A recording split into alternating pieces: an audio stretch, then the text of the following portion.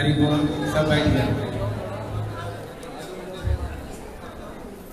ओम ज्ञानतिमिरान्धस्य ज्ञानाञ्जनशलाकया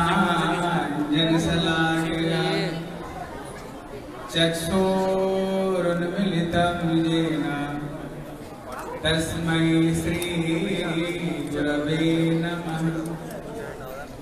गुरवे राधिकाय स्तदाले कृष्णाय कृष्णभक्ताय तद्भक्ताय नमो नमः।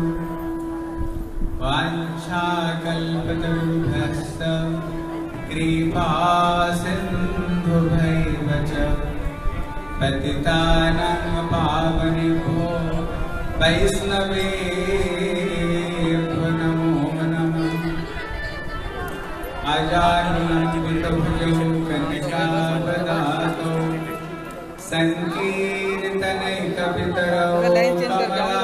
कमलायताक्षौ विश्वम्भरौ द्विजवरौ युगधर्मपालौ। वंदे जगत्प्रियकरौ करुणावतारौ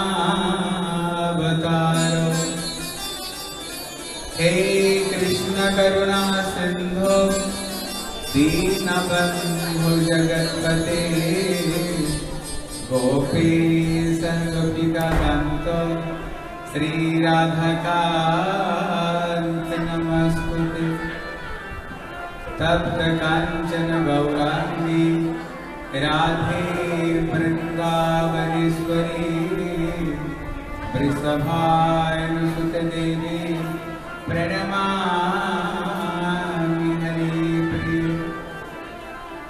त्यादीनापराधलक्ष्यै हितासि कृपामयि त्वां शरणं प्रपन्ना वृन्दे नमस्ते चरणाय वृन्दम् हे श्रीसनातनप्रभुकरुणाम्भरासे हे भरासे दया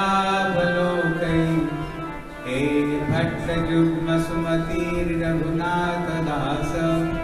श्रीजीवी पुरुतमन्दमतीरितयाङ्गवरा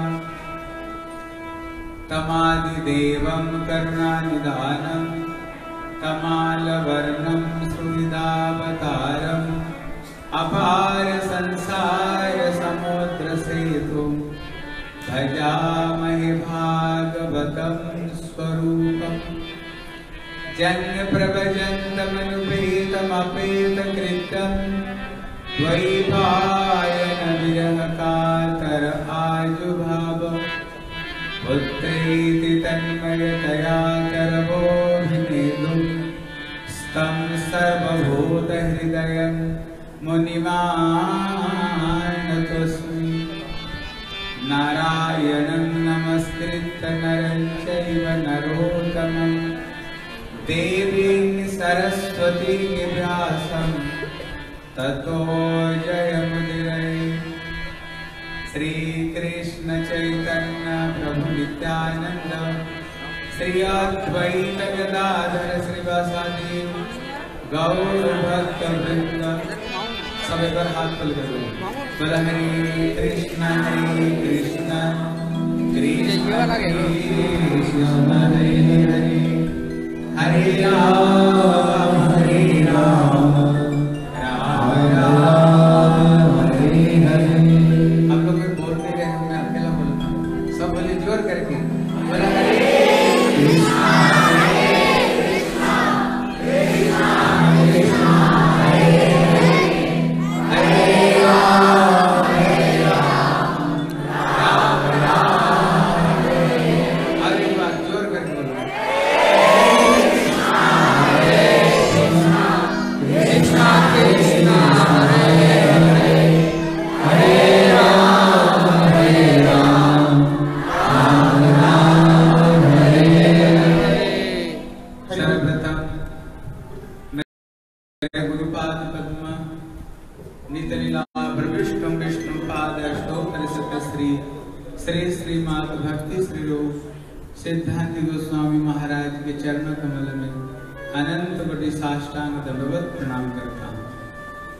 तत्पश्चात मध्य शिक्षा गुरुपाद पद्म नितलीला प्रविष्णु विष्णु पाद अष्टोदर सतश्री श्री श्रीमात भक्ति वेदांत श्रीला नारायण गोस्वामी महाराज के चरण सर्ज में श्रद्धा पुष्पांजलि अर्पण करता हूँ उपस्थित परम पूज्य पाद स्वामी भक्ति वेदांत श्रीला वन महाराज जी श्री बोधन महाराज जी, श्री पद्मनाभ महाराज, रामचंद्र प्रभु हरे कृष्ण प्रभु अन्य अन्य समस्त वैष्णव वैष्णवियों को मैं जथा योग्य प्रणाम करता हूँ। हरे कृष्ण, महाराज हरि बोल। एक सितंबर चौसठ गाड़ी किसी की बाहर रोड पर खड़ी है। किसकी हो जाकर बाहर हटा ले प्लीज़ सितंबर चौसठ।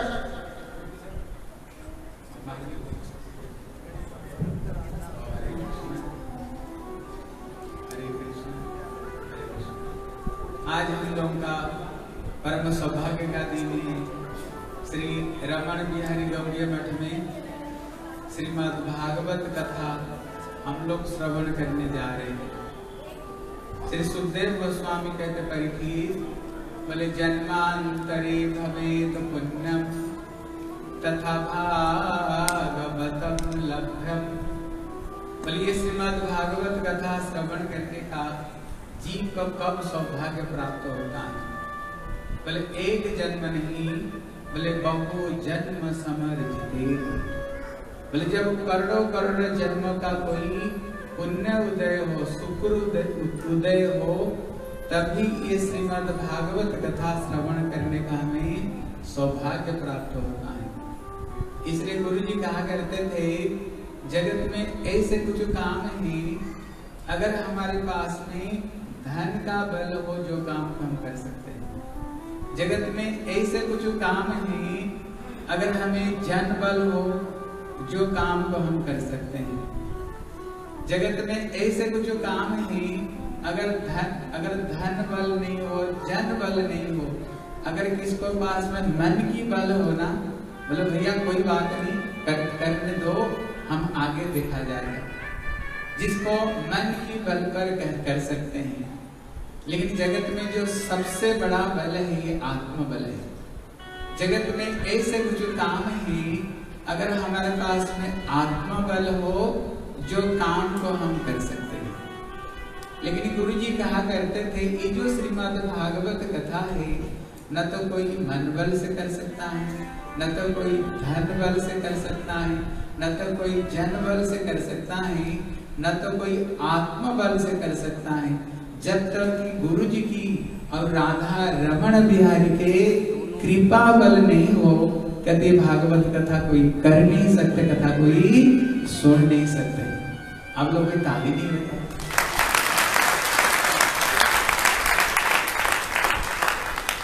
इसलिए हम लोग बड़े सौभाग्यवान हैं, जो कि ये श्रीमद् भागवत कथा में श्रवण करने का हमें सौभाग्य प्राप्त होता है, हो रहा है।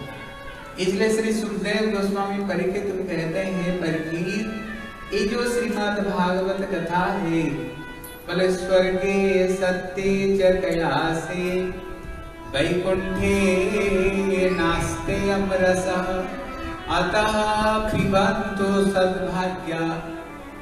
यदि जो श्रीमद् भागवत कथा है, कहते, स्वर्ग में देवता रूप में जन्म लेने पर भी उनकी सौभाग्य में भी ये भागवत कथा सुनने का नहीं मिलता है। हम आगे जाकर के श्रवण करेंगे। बोले, जिस समय श्री सुखदेव गोस्वामी श्री परीक्षित महाराज को ये कथा सुनाने जा रहे थे, बोले, जिन जिन देवताओं को हम घर घर में पूजा करते हैं, इतने में वो सबके सब स्वर्ग से अमृत कलश लेकर के आए। बोले, हे सुखदेव गोस्वामी आप परीक्षित को क्यों ये कथा सुनाने जा रहे हो? बोले श्रृंगी ऋषि ने अभिशाप दिया है ये सप्तम दिवस में इनको तक्षक दर्शन करेगा बोले, कोई चिंता मत करो। हम स्वर्ग से अमृत कलश लेकर के आए हैं लो, ये पूरी की पूरी अमृत कलश आप ले लो। आपसे परिकृत महाराज को मिला दो, ये अमरत्व को प्राप्त करेंगे लेकिन जो कथा आप श्री परीक्षित को पिलाने जा रहे हो, ये कथा मृत आप हमें सुना जब इतना बोले, सुखदेव गोस्वामी इतने बिगड़ गए, बोले को सुधा को मणिर महान वो उदाहरण देते हैं। बोले, तुम लोग बड़े मतलब ही। हो केवल स्वार्थ सिद्धि करने में तुम जानते हो और कुछ नहीं जानते कहा ये भगवान की कथा और कहा स्वर्ग के अमृत ये अमृत पान करने से क्या होता है? कहते धीरे धीरे धीरे धीरे आपका पुण्य क्षय होगा। और बढ़ेगा नहीं। और खिन्न पुण्यम मर्तल भी सरती पुण्य समाप्त होते ही गला में धक्का मार करके फिर आपको मध्य जगत में आपको फेंक दिया जाएगा। लेकिन ये कथा मृत पान करने से क्या होता है? ये सुकृति बढ़ती है, घटती नहीं, सुकृति बढ़ती है। स्वर्ग का अमृत पान करने से क्या होता है? स्वर्ग का सर्वश्रेष्ठ इंद्र है। आप सुना होगा कितना बार सुअर भी बनाए कितना बार स्वर्ग से उनको खदेड़ दिया गया है। कितना बार अहल्या को प्रति पता नहीं कहा आसक्त हो गए। इसलिए स्वर्ग अमृत पान करने से होता है क्या काम, क्रोध, लोभ, मोह बढ़ता है। लेकिन एक कथा मृत पान करने से क्या होता है? जितने काम, क्रोध, लोभ मोह घटती है। घटती है। इसलिए वो उदाहरण देते हैं, अगर कोई कांच के टुकड़े लेकर के आए बोलिए कांच के टुकड़े ले लो, आपको पास में जो मणि है, वो मणि हमें दे दो। आप दे दोगे? बोले, दे दोगे मणि, दे दोगे? वो उदाहरण देते हैं को काच को मणि महान। कहते, ये जो श्रीमद भागवत कथा, ये कथा नहीं, ये क्या है? बोले तमादि देवम करुणा निदानम तमाल वर्णाम सुहृदावतारम अपार संसार समुद्र से तुम भजामहे भागवतम स्वरूप। यदि जो श्रीमद भागवत कथा है, ये भगवान स्वयं कृष्ण ही बोले तेन अयंग बांगमय मूर्ति कहते किसने सोने की मूर्ति बनाता है? किसने मिट्टी की मूर्ति बनाता है? किसकी रेती की मूर्ति बनाती है? किसने तस्वीर बनाता है? किसने अष्टधातु की मूर्ति बनाती है? लेकिन व्यास देव का कला तो देखो, उन्होंने बनाया तो क्या बनाए? बोले, तेन अयंग बांगमय मूर्ति, प्रत्यक्ष वर्तते हरि। यदि जो श्रीमद भागवत ग्रंथ नहीं, भगवान कलियुग में जीव को कल्याण करने के लिए भगवान स्वयं सप्त ब्रह्म रूप में, अक्षरात्म रूप में भगवान स्वयं श्री, ये भागवत ग्रंथ रूप में जगत में प्रकट हुए इसलिए जैसे कृष्ण गीता में कहते हैं, अर्जुन, बोले, जदा जदा ही धर्मस्य ग्लानिर्भवति भारत अद्भुतानम धर्मस्य तदात्मान जैसे भगवान कभी कभी जब पृथ्वी को ऊपर में गो माताओं को ऊपर में, ब्राह्मण और संतों को ऊपर में कोई अत्याचार होता है, जैसे भगवान खुद कहते हैं, कभी मैंने मत्स्य अवतार लिया। और मत्स्य अवतार लेकर मैंने भेद को उद्धार किया कभी मैंने कुर्मा अवतार लेकर के अपना पृष्ठ ऊपर में किए, मंदराचल पर्वत को मैंने धारण किया कभी मैंने बराह अवतार धारण करते हुए पृथ्वी को मैंने उदल में की। कभी मैंने नरसिंह भगवान रूप में श्री हिरण्य कश्यप को बंद करके श्री भक्त प्रहलाद को रक्षा किया। कभी भगवान ने राम रूप में आए और रावण को वध किया। कभी भगवान बामन अवतार में आकर के बलि महाराज को कृपित किया। इसलिए कलयुग में भगवान किस रूप में कलयुग में आए हैं? भगवान कलयुग में स्वयं श्री भागवत ग्रंथ रूप में जगत में हमारी कल्याण करने के लिए श्री भागवत ग्रंथ रूप में भगवान आए। इसलिए जिस समय भगवान कृष्ण के जगत छोड़ करके जा रहे थे, उस समय उद्धव भी वहीं पर थे। तब उद्धव जी प्रश्न करते हैं, बोले, प्रभु जी हम तो जीवन भर एक साथ में रहे, खेले, कूदे, सब कुछ किया हो। आप तो अभी ये जगत छोड़ करके जा रहे हो, अभी मेरी क्या होगा आप कृपा करके बताओ, अभी मेरा क्या होगा? आप तो जा रहे हो। भगवान कृष्ण क्या कहते हैं? बोले, उद्धव जी, कोई चिंता मत करो। मैं तो एक स्वरूप में ये संसार से जा रहा हूँ। कलयुग में मैं दूसरे स्वरूप में भी जगत में रहूँगा। इसलिए बोले बोले कृष्णा, स्वधाम उपगति धर्म सह, कलो नष्टा दृशा में पुराण अर्क धुनात्क बोले कृष्ण सुधाम उपगते, जब भगवान कृष्ण ये संसार छोड़ करके चले गए, बोले धर्म ज्ञान को साथ में भगवान स्वयं ये पुराण रूपी अर्क अर्क मतलब होता है सूरज। जैसे सूरज उदय होने पर क्या होता है? सारे अंधकार दूरीभूत हो जाता है। सारे चोर, डाकू, बदमाशियों का सारे भय दूर हो जाता है। इसलिए भगवान कलयुग में जीव को कल्याण करने के लिए भगवान ने ये पुराण रूपी अर्क रूप में, पुराण रूपी उनने सूर्य रूप में भगवान कलयुग में अवतीर्ण हुए हैं।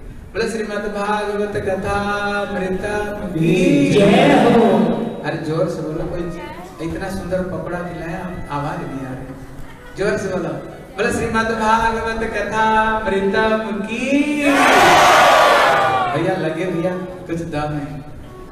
इसलिए यहाँ पर कह रहे हैं कहते ये जो कहते ये जो श्रीमद भागवत कथा है देवता लोग संपूर्ण रूप में अमृत देने पर भी ये भागवत कथा देवता को सुनने नहीं मिला। उनको खदेड़ दिया यहाँ से, भाग जाओ यहाँ कथा नहीं सुन सकते मतलब क्या है? बोले, तात्पर्य है, आज हम लोग देवता से भी ज़्यादा सौभाग्यवान। जो कि श्री रमण बिहारी गौड़ी मठ में ये भागवत कथा को हम श्रवण करते इसलिए यहाँ पर प्रश्न होता है, भैया, स्वर्ग का जो अमृत उन्होंने पूरा के पूरा दे रहे थे, अमृत कलश को लेकिन अमृत कलश को देने पर भी कथा सुनने को नहीं मिला। फिर क्या कि अमृत का कोई महत्व नहीं? बोले, नहीं, अमृत का बड़ा महत्व है। सारा दुनिया चाहते हैं स्वर्ग जाना। सब चाहते हैं ना? कोई मरने का, मरने के बाद क्या कहते हैं? स्वर्गीय। मतलब हमारा पिता माता स्वर्ग गए ना? सारा दुनिया स्वर्ग जाने के लिए पागल होते हैं। हैं? क्यों? वह अमृत पान करने के लिए पागल होते हैं। इसलिए भैया, जो अमृत है, साधारण भाग्य से स्वर्ग का अमृत नहीं मिलती है। ये स्वर्ग अमृत को प्राप्त करने पर भी, करने के लिए ठाकुर जी को भगवान को स्वयं चार चार अवतार लेना पड़ेगा भगवान को। हम आगे जाकर के सुनेंगे, जब देवता दैत्य समुद्र मंथन करने के लिए जा रहे थे मंथन से तो अमृत निकली है ना? देवता दैत्य मंदारचल पर्वत को जब ले जा रहे थे, इतना भोजन था, बीच में गिरा तो कितने दैत्य देवता पीस गए। फिर भगवान हरि को प्रार्थना किया, ठाकुर जी, आप कृपा करो। भगवान मंदार चल पर्वत को गरुड़ को पीठ ऊपर रख करके समुद्र के बीच में रखे। ये भगवान का पहला अवतार कीर्तन है ना? दूसरा अवतार जब मंथन प्रारंभ हुई, धीरे धीरे धीरे धीरे पर्वत नीचे धसते जा रहा था। फिर ठाकुर जी को प्रार्थना किया था ठाकुर जी कुर्मा अवतार लेकर के पृष्ठ पर धारण किया। कितना हो गया? दो हो गया। जब मंथन हुई, धन्वंतरि ने अमृत कलश लेकर के निकला। कितना हो गया? तीन। इतने में जब दैत्य लोगों ने ले गए, इतने में भगवान वही ने अवतार धारण करते हुए फिर अमृत कलश को उन्होंने देवता को दिया। कितना अवतार हो गया? चार। लेकिन महाभारत में वर्णना आता है, स्वर्ग में जाने पर अमृत नहीं मिलेगा आपको वहाँ पर एक अग्नि चक्र एक वायु चक्र लोहे चक्र, फिर काल सर्प बैठा हुआ। काल सर्प बैठा हुआ, इसको पार करो, फिर अमृत हाथ में आएगा। नहीं तो अमृत नहीं आएगा आपके पास इतना आसानी नहीं, अमृत मिल जाएगा। इतने अमृत की महत्व है। लेकिन ये अमृत स्वर्ग का अमृत देने पर भी ये भागवत कथा देवता को प्राप्त नहीं हुई। आप लोगों को पता होगा कुंभ मेला होता है ना, प्रयाग, नासिक, हरिद्वार में, बारह साल के बाद में। क्यों कुंभ मेला होता है? क्योंकि जिस समय गरुड़ जी ने स्वर्ग से अमृत लाए थे उन्होंने चार जगह पर रखा था। इसलिए बारह साल बाद में आपको पता होगा कुछ दिन पहले इलाहाबाद में कहीं कुंभ मेला तो एक ब्रिज टूटा तो कितना लोग मर गए। और जब सही स्नान होता है ना, पंद्रह बीस किलोमीटर पहले, हैं, किलोमीटर पहले गाड़ी बंद कर देते चल करके कितने लड़ाई, कितने वहाँ पर नागा बाबा, पता नहीं क्या किया है पहले कौन स्नान करेगा? इतने लड़ाई झगड़ा वहाँ पर होता है। स्नान क्यों केवल उन्होंने अमृत कलश को रख लिया था और कुछ नहीं। केवल अमृत कलश को रखने पर इतने महिमा है। इसलिए इतने महिमा ये अमृत की। लेकिन सुखदेव गोस्वामी कहते हैं, को काज को मणिमान देखो, उदाहरण क्या देते हैं? कहते ये अमृत किया बोले, काज के टुकड़े मात्र है और भगवान कथा ये मणि है। मतलब भगवान की कथा नहीं ये स्वयं श्री राधा रमण बिहारी, ये स्वयं श्री, ये भागवत ग्रंथ उसमें रमण बिहारी इसलिए हम भगवान को साथ में किसी चीज़ को हम कहीं बराबर नहीं कर सकते हैं। इसलिए श्री सुखदेव गोस्वामी कहते हैं परीक्षित भले स्वर्ग में देवता रूप में जन्म लेने पर भी उनकी सौभाग्य में ये भागवत कथा नहीं जुटती है। कहते, स्वर्ग की बात छोड़ दो। बोले, सत्य। सत्य मतलब जहाँ जहाँ पर पितामह ब्रह्मा जी रहते हैं भूर्भुव मोह जन तप सत्य लोग है। ये ब्रह्मांड का सबसे ऊँचा स्थान सत्य लोग है। इसलिए कहते, भैया, ये सत्य लोक में भी ये भागवत कथा नहीं। है? सत्य लोक में भी भागवत कथा नहीं। इसलिए अगर कहीं भागवत कथा हो ब्रह्मा और ब्रह्माणी को अगर कभी पता चलता है, ये भागवत कथा हो रही है, क्या होता है? स्वयं ब्रह्मा, ब्रह्माणी। कभी ये ब्रह्म लोक को छोड़कर कथा सुनने आते हैं। इसलिए श्री गोस्वामी जी कहते हैं, भले कथा है तो बेधे भावना बिहाई कथा है तो बेधे भावना Hare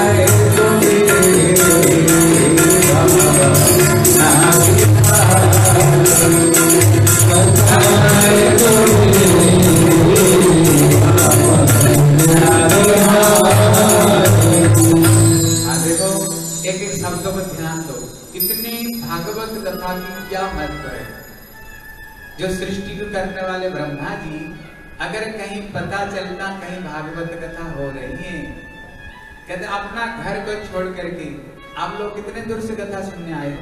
एक किलोमीटर, दो किलोमीटर, दस किलोमीटर, सौ किलोमीटर बाद दो सौ किलोमीटर, बा हज़ार किलोमीटर से कहीं आ सकता है। लेकिन पितामह ब्रह्मा कहाँ रहते हैं? हज़ार हज़ार किलोमीटर का ब्रह्म लोक में रहते हैं। सबसे ब्रह्मांड का ऊंचाई लोग पर रहते हैं। अगर उनको कहीं पता चले, ना भागवत कथा हो रही है वो अपना घर को छोड़ करके ढाई ढाई मतलब क्या, दौड़ दौड़ करके। हम दौड़ दौड़ के कहा जाते जब माल मिलेगा कहीं अगर ज़्यादा कहीं माल मिले ना, हम वहीं पर दौड़ दौड़ कर तभी तो जाते हैं। जैसे ऑफ़िस जाते हो, अगर छह बजे तो पाँच बजे उठोगे, या तो चार बजे उठोगे। हम दौड़, जानते ना माल मिलेगा। हैं? इसलिए ब्रह्मा जी, ब्रह्म लोग छोड़ करके आते हैं, बोले, क्यों? बोले उनको ये भागवत कथा की महिमा पता है। ये महिमा पता है, तभी वो ब्रह्म लोक को त्याग दे करके और इसी मर्त जगत में कथा सुनने के लिए ब्रह्म लोक से आते हैं। इसलिए वो अकेले नहीं आए। कहते, पत्नी बोले सारद है। बोले, सारद है, जब कथा जान सुनने के लिए जाओ ना, ऐसे नहीं करना, अभी श्रृंगार कर रहे हो। हैं? अभी थोड़ा जाओ बोले, नहीं, कथा से पहले जानी चाहिए। कथा से पहले जानी चाहिए और कथा को बाद में जानी चाहिए। कथा से पहले आनी चाहिए, कथा को बाद में जानी चाहिए। इसलिए कहते, भैया, ये सत्य लोक में भी नहीं बोले कैलाश नास्ते अमरसा कहते कैलाश में भी ये भागवत कथा नहीं। इसलिए अगर कभी शंकर पार्वती को कथा सुनना होना वो भी कैलाश छोड़ कर कथा सुनने आते हैं। इसलिए गोस्वामी जी कहते हैं एक बार त्रितया युग माही और संभो गए कुंभ बाई गोस्वामी जी कहते, एक समय शंकर जी सती को लेकर के कहा से कैलाश छोड़ करके श्री अगस्त ऋषि की चरण में कथा सुनने के लिए आए। और जब कथा सुन करके जा रहे थे, कथा का फल क्या है? बोले, कथा का फल है, भगवत दर्शन।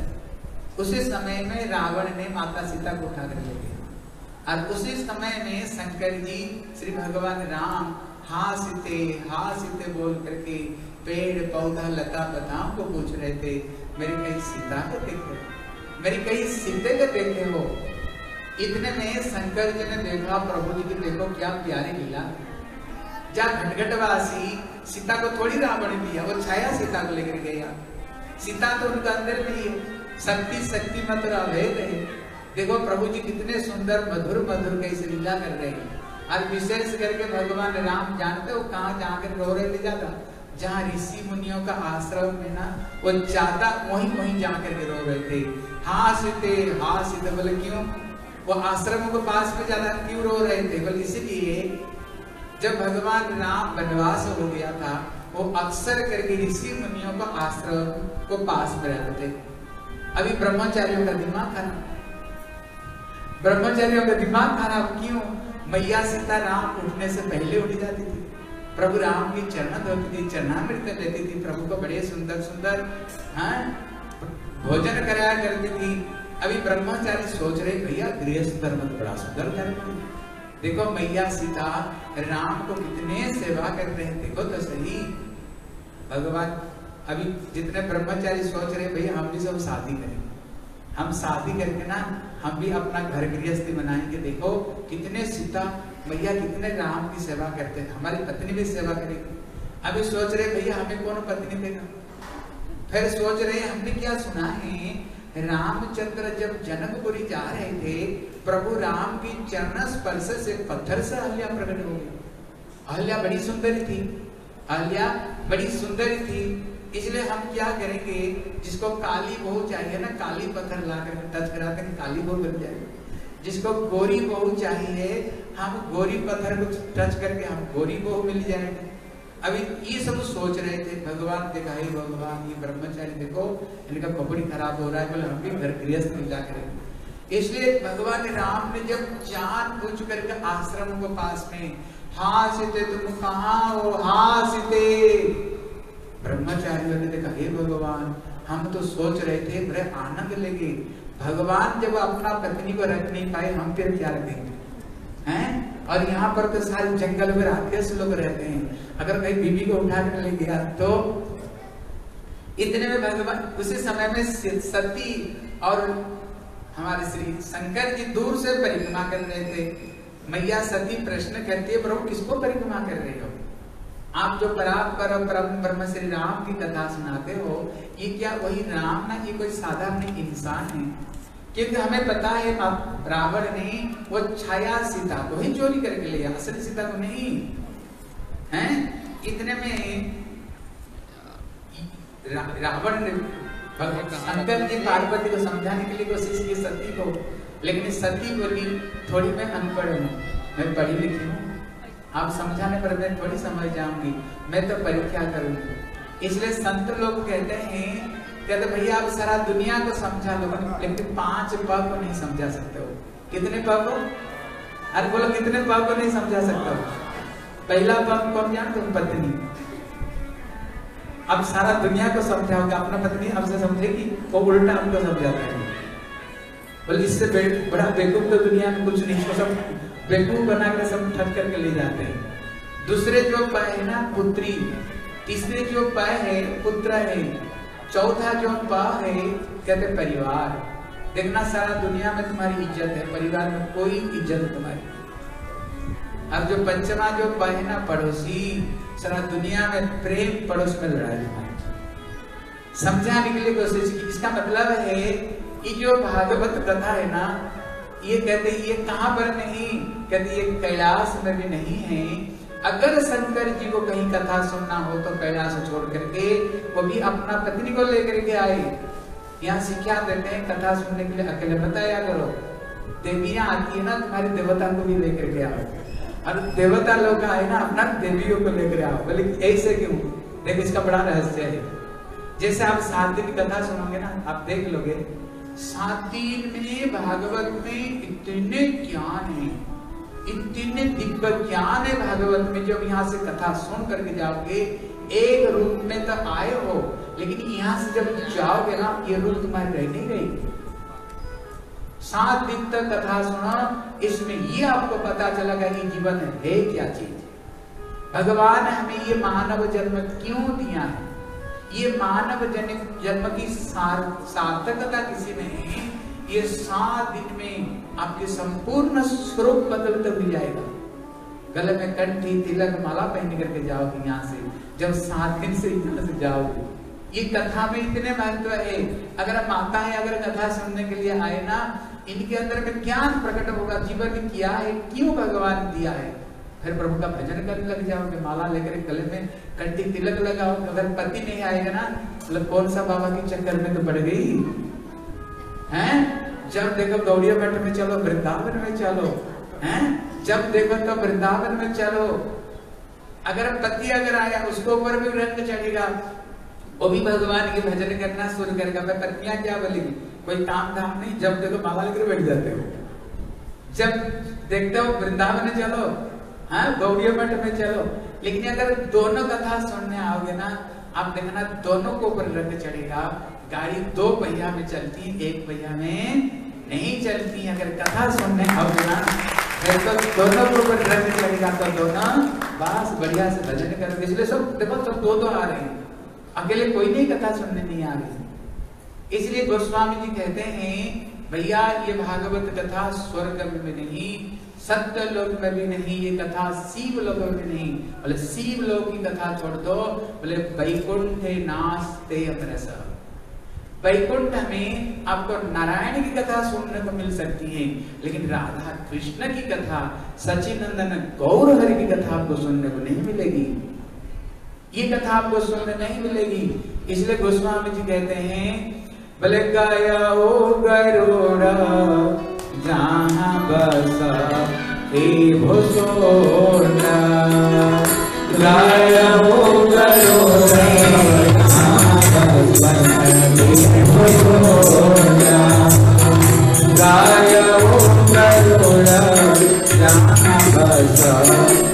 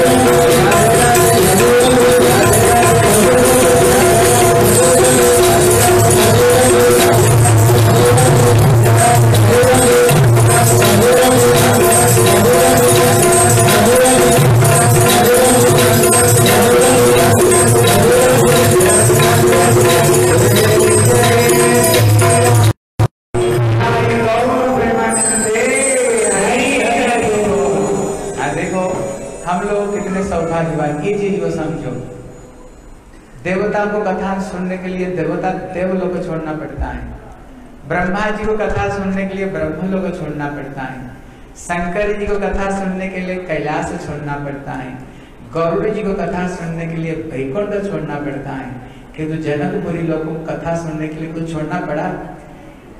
कथा रूपी गंगा स्वयं वृंदावन से बहते बहते हमारी घर की दरवाजे को सामने आ गई और हम लोग अपना घर में बैठी बैठी करके कथा रूपी अमृत में हम लोग ने स्नान कर दिया। इसलिए हम लोग बड़े सौभाग्यवान जो कथा सुनने आए। इसलिए ये बात तो शंकर जी पार्वती को भी कहते हैं। गोस्वामी जी कहते रामचरित मानस में बोले दुर्लभ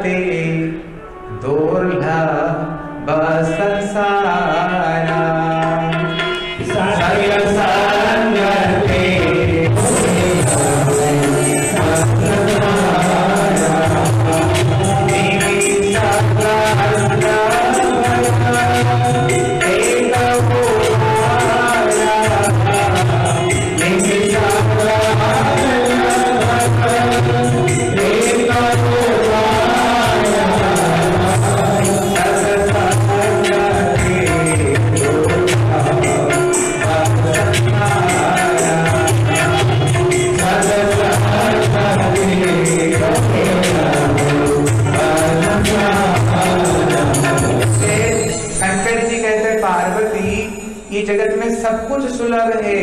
इसलिए तुलसीदास जी कहते हैं, कहते सत संगति दुर्लभ संसारा।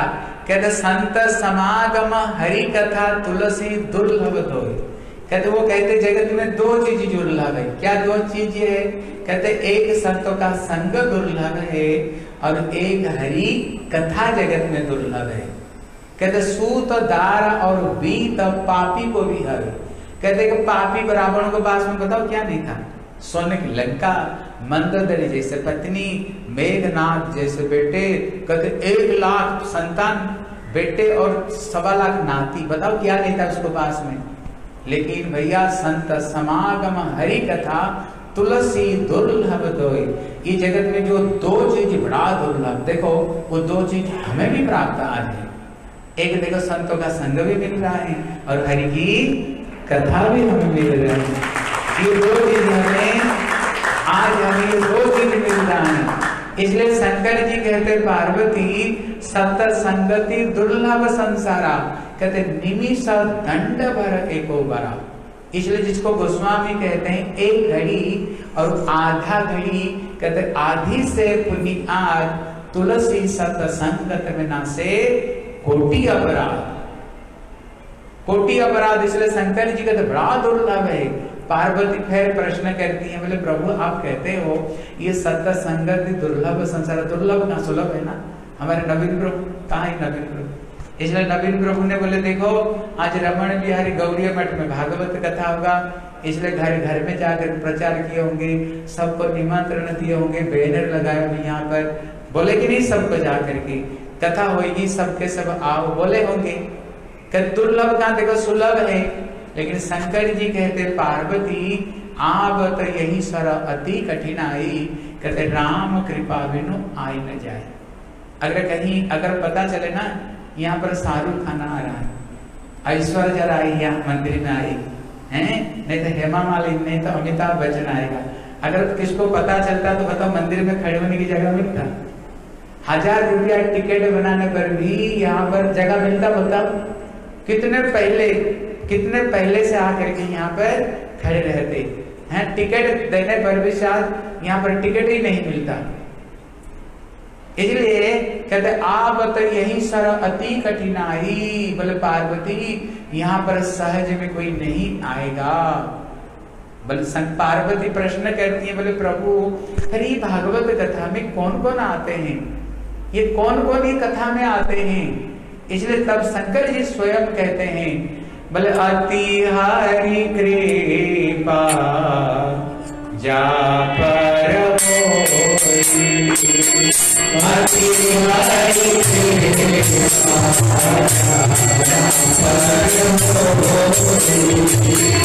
अति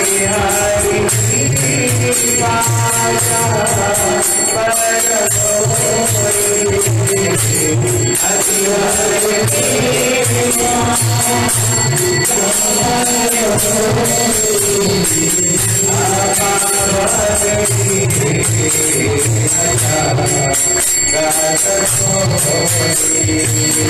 कृपा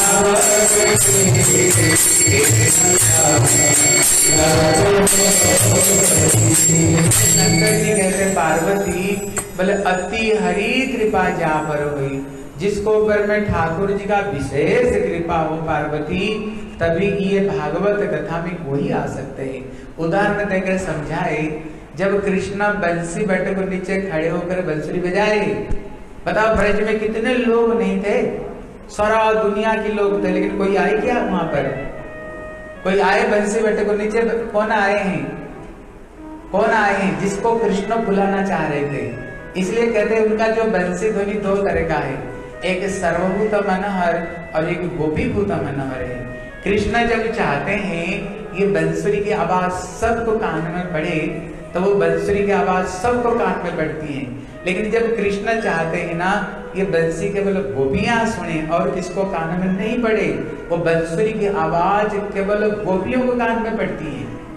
बंसी बट को नीचे गोपियाँ आई, कृष्ण क्या कहते हैं? बोले, स्वागत में महाभागा।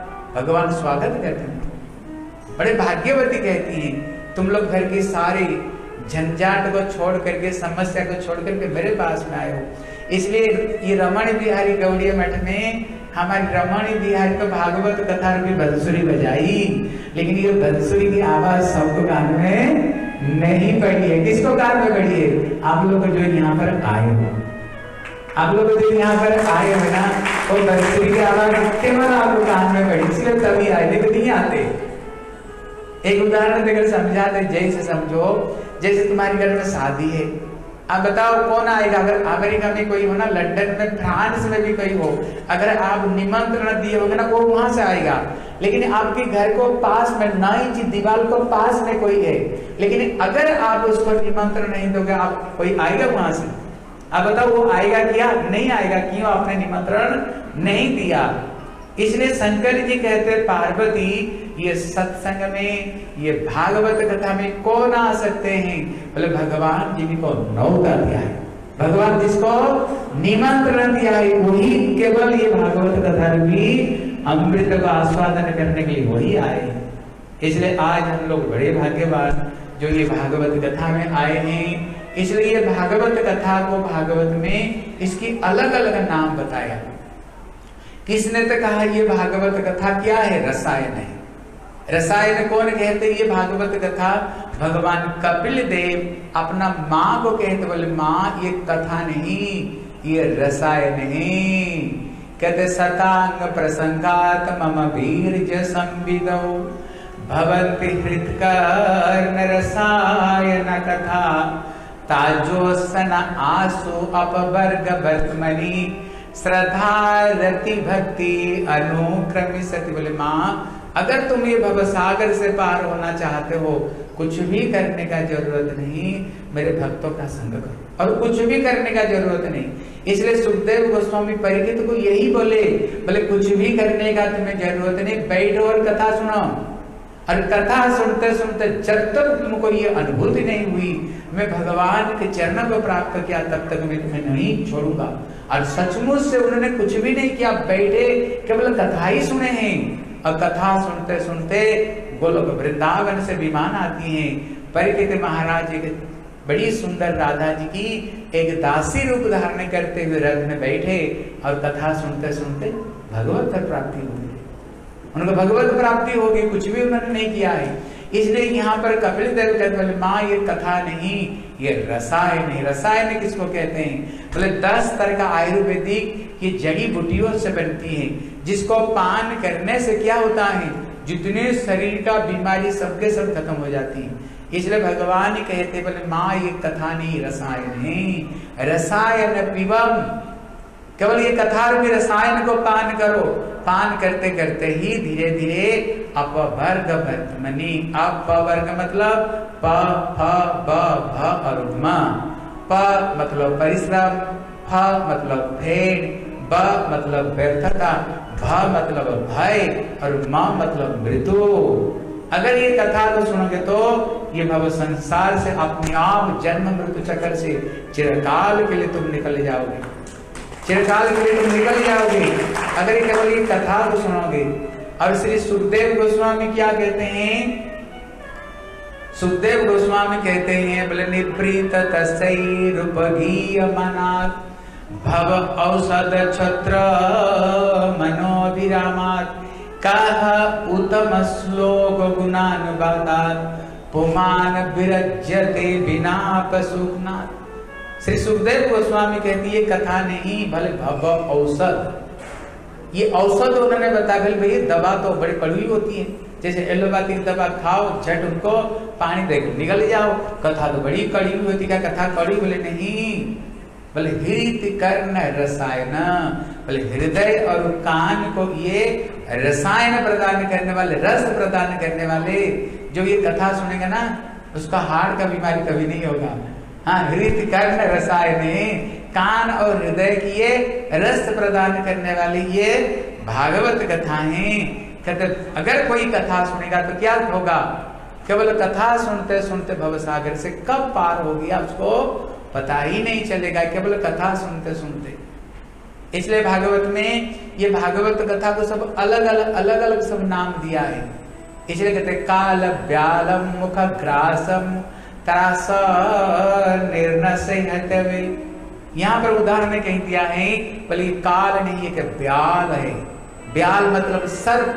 सर्प जैसे निगल जाती है, ऐसे ही ये काल रूपी जो सर्प, ये हमको धीरे धीरे धीरे धीरे ये निगल रहा है। लेकिन उसको निकलने का सबसे उपाय क्या कथा? एक उदाहरण देकर समझा। अच्छा तरह समझो। आप देखना नेवला और सांप में कभी लड़ाई देखे होंगे अगर कभी सांप अगर नेवला को काट देता है ना, नेवला कहते एक्सक्यूज मैं अभी अभी आता हूँ, थोड़ा रुक जाओ। किसको पता है, ये सांप अगर काट दिया तो जहर चढ़े तो कौन दबा दवा चाहिए, उसको पता है नेवला, वो झट जाता है, वो झट वो दवा को खाकर फिर आ जाता फिर लड़ाई करेगा। लड़ते लड़ते अगर बाई चांस सांप काट देगा ना एक्सक्यूज मी थोड़ा रुको, अभी अभी आता हूँ। फिर वो जाएगा, उसको पता है ना दवा झट खाएगा, फिर ऐसे करते करते करते लास्ट में देखना, ये नेवला लास्ट में सर्प को खा जाता है, काट देता है। इसलिए जो कथा को बताया ये क्या है कथा? कहता अगर ये कथा को कोई सुनेगा ना, ये काल ब्याल है। ये क्याल रूपी सर्प हमें ग्रास कर रहा है।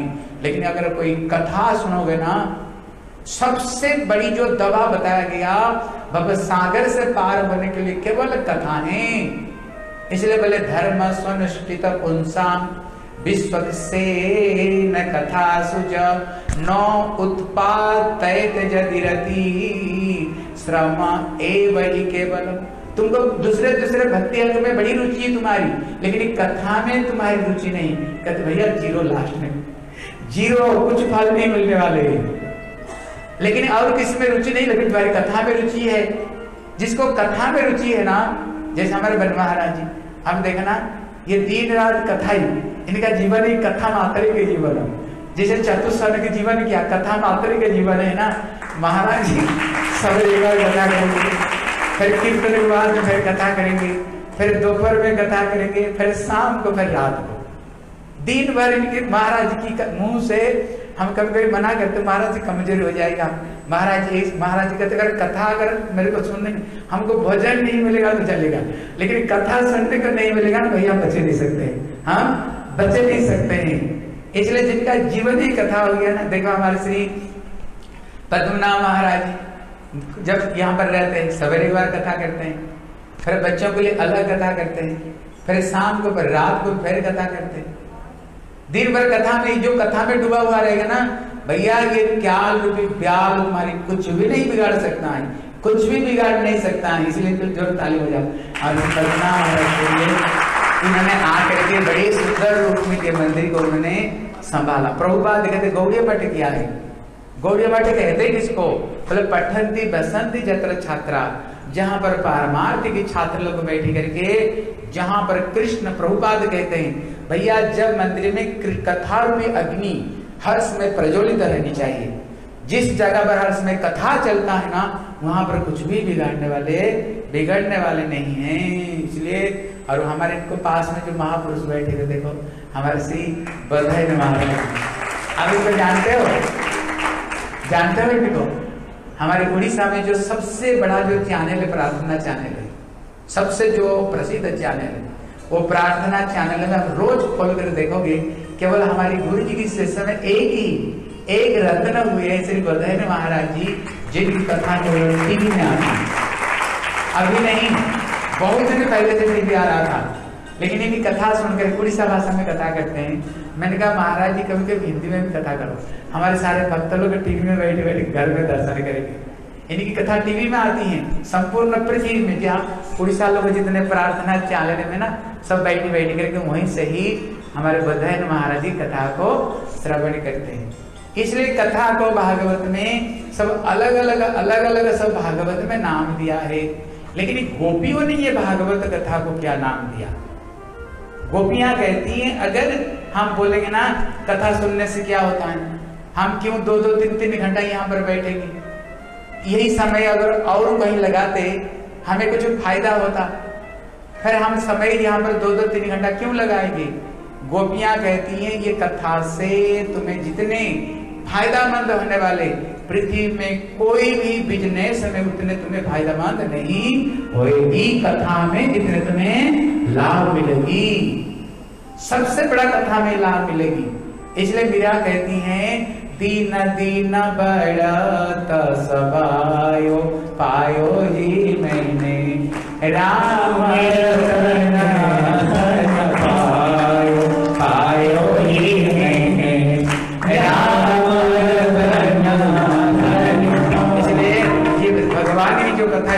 घटेगी नहीं, ये घट करके प्रकट होगी इसलिए गोपियाँ कहती है अगर ये कथा को कोई सुनेगा तो उसको सात फ़ायदा होगी कितना फ़ायदा होगा? और ज़ोर से बोलो। आज मैं बोलूँगा, कल आपसे पूछूँगा। और जो बोलेगा ना, मैं सोई नाम दूँगा। ठीक है, ध्यान देकर सुनना। गोपियाँ क्या कहती हैं? बोले तब कथा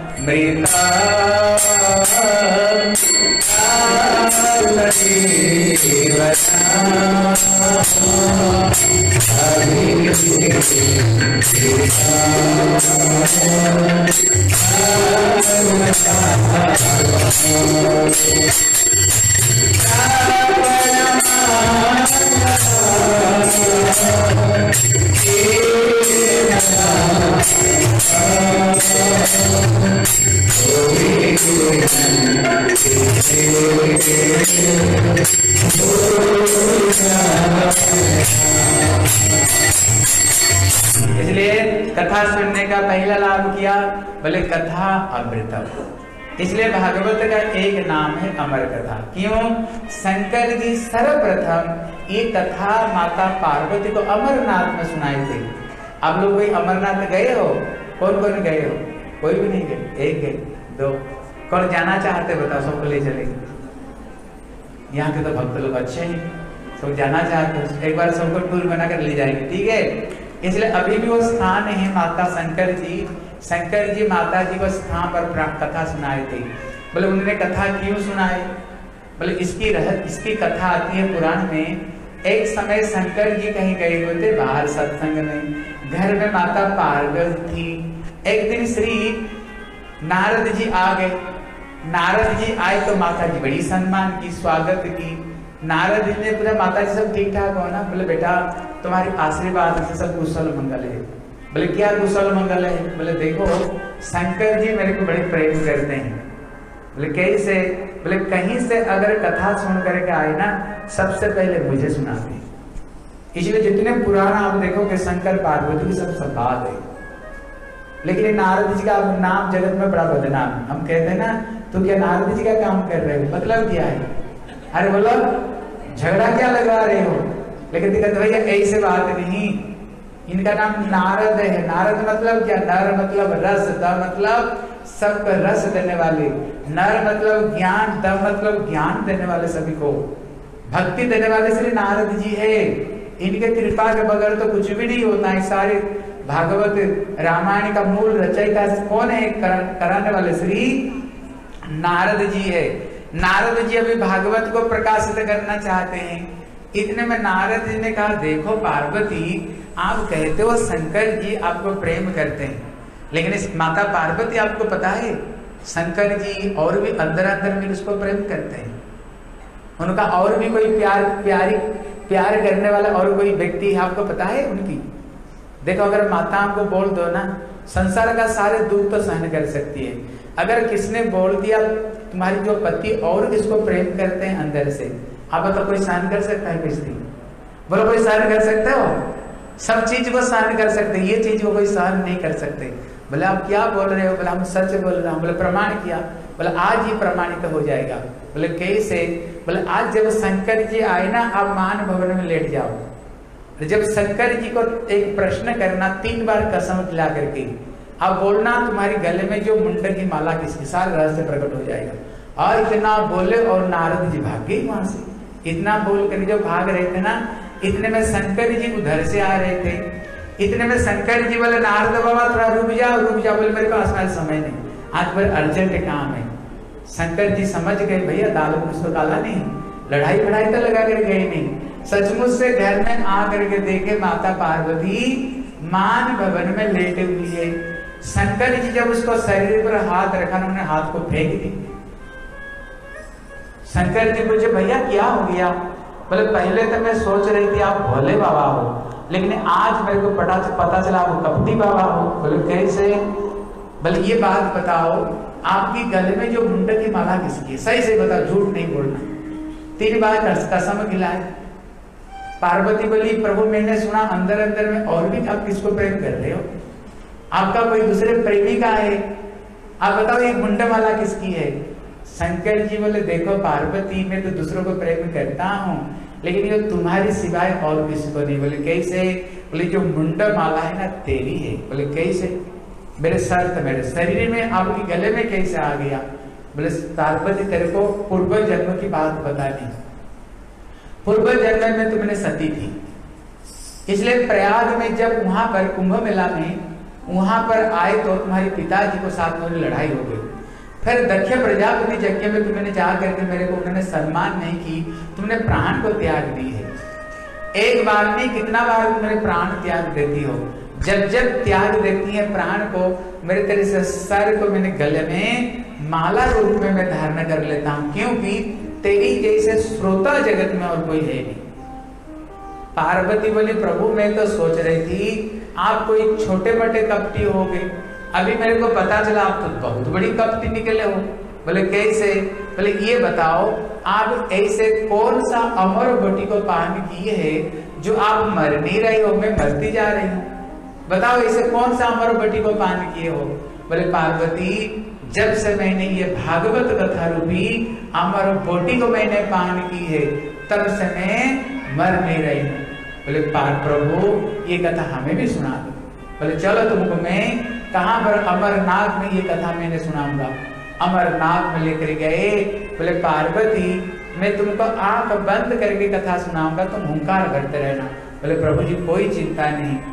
शंकर जी उन्होंने भागवत कथा को प्रारंभ की। बोले श्रीमद भागवत कथा मृतम की। और ज़ोर से बोलो। बोले श्रीमद भागवत कथा मृतम शंकर जी सुनाते जा रही है, पार्वती सुनते जा रही है, और हुंकार भरते हुए जा रही थी। बीच में, पार्वती बीच में सो गई। सो गई तो हुंकार भरना बंद हो गया। भगवत इच्छा से उसी वृक्ष के ऊपर में कोई तोता भी बैठ कर कथा सुन रहा था। उसने देखा माता जी तो सो गई, हुंकार भरना बंद हो गया। अभी शंकर जी कथा को बंद करने की कथा मेरी भी अधूरी रह जाएगी। अभी वो तोता भी हुंकार करते रहे बोले, बड़ी प्यारी कथा, उसको बाद में क्या हुआ? आगे की बात सुनाओ। शंकर को सुनाते सुनाते जा रहे हैं। फिर जब कथा विश्राम हो गई ना, फिर शंकर जी जयकार दिए। बोले, श्री वृंदावन बिहारी, लाल की मैया जग गई। देखो, इसलिए हम भी बीच बीच में जयकार देते हैं, कोई बीच में सो नहीं जाए। हैं? सो नहीं जाए। जब पार्वती सो गई, फिर हमारी बात किया है प्रभु जी बैठे। इसलिए फिर जयकार दे रहे फिर कथा सुनाते जा रहे हैं। इतने में जब पार्वती की नींद खुल गई ना बोले प्रभु उसको बाद में क्या हुआ? बोले कथा तो विश्राम हो गई। बोले बैठ में तो सो, सो गई थी। बोले सो गई से गई तू कर बन रही थी तू। बोले नहीं प्रभु बीच में मैं सो गई थी। शंकर जी ने देखा ये अमर कथा है। अगर कोई अनधिकारी व्यक्ति अगर कथा को सुनेगा तो वो अमरत्व को प्राप्त करेगा। अगर कोई दुष्ट व्यक्ति अगर कथा सुन करके अमरत्व को प्राप्त करे, फिर जगत के लिए हानिकारक है। इसलिए भगवान गीता को भी जो ज्ञान देते हैं ना, भगवान कपिल देव जो माँ को ये ज्ञान देते हैं, बोले, माँ, ये जो ज्ञान की बात बताई, न अभक्ता है कदाचन। ये अभक्तों को कथा नहीं सुनानी। शंकर जी ने देखा, गड़बड़ी हो गई। इतने में शंकर जी त्रिशूल उठाए। और वो तोते को पीछे उन्होंने भागे। वो तोता जहाँ जाए, शंकर जी पीछा नहीं छोड़ रहे हैं। ऐसे करते करते जब बद्रीनाथ में पहुँचे, वहाँ पर भी यही अमर कथा कहते व्यास देव अपना पत्नी बिटका को भी सुना रही थी वो भी ऐसे, जैसे हाँ करके सुनते हैं ना, वो भी सुन रही थी। और वहीं पर तोता जा करके सूक्ष्म रूप धारण करते हुए अंदर में प्रवेश कर गया। शंकर जी जब वहाँ पर आए, व्यास देव जी ने पूछा, भोले बाबा, कहाँ से हफ़्ते हफ़्ते आ रहे हो? शरीर में पसीना पसीना दे रहा है, क्या बात है? बोले, बड़ा अनर्थ हो गया। बोले, क्या हो गया? बोले, एक तोता ने ये अमर कथा सुन लिया। बोले, भैया, अमर कथा का मतलब क्या है? बोले, जो सुनेगा वो मरेगा नहीं। बोले, भोले, सचमुच से तुम भोले ही हो। आप स्वयं कहते हो, ये अमर कथा जो सुनेगा वो मरेगा नहीं। बताओ वो तोता कथा सुनी कि नहीं? बोले हाँ सुन ली। बोले, जब कथा सुनी ली, फिर आप उसको मारने के लिए पीछा कैसे कर रहे हो? शंकर जी बोले, अभी तक तो मेरा ध्यान ही नहीं था ये बात पड़ती अभी शंकर जी सोच रहे हैं क्योंकि ये जो भागवत कथा सभी नहीं सुन सकते हैं। कद जन्मांतरे भवेत पुण्यम, तथा भागवत लभ्यम जब करोड़ों जन्म का कोई सौभाग्य उदय होता है, तभी ये कथा को कोई सुन सकते हैं। अगर ये तोता कोई साधारण तोता होता है ना, कभी भी यहाँ पर बैठ कर कथा नहीं सुन सकती है। इतने में उन्होंने ध्यान लगाए, ये तोता कौन है? जब उन्होंने ध्यान लगाए, उन्होंने क्या देखा? बोले, प्रिया सुख श्री वृषभानुजाया पवित्र चंचो, प्रिय जो एकांत कनन रहस्य पाठी, निकुंज प्रसाद सदा निवासी। शंकर जी ने देखा, है, ये तोता कोई साधारण तोता नहीं, कभी ये प्रिया सुख श्री वृषभान जाए ये राधा रानी की ये प्रिया सुख है।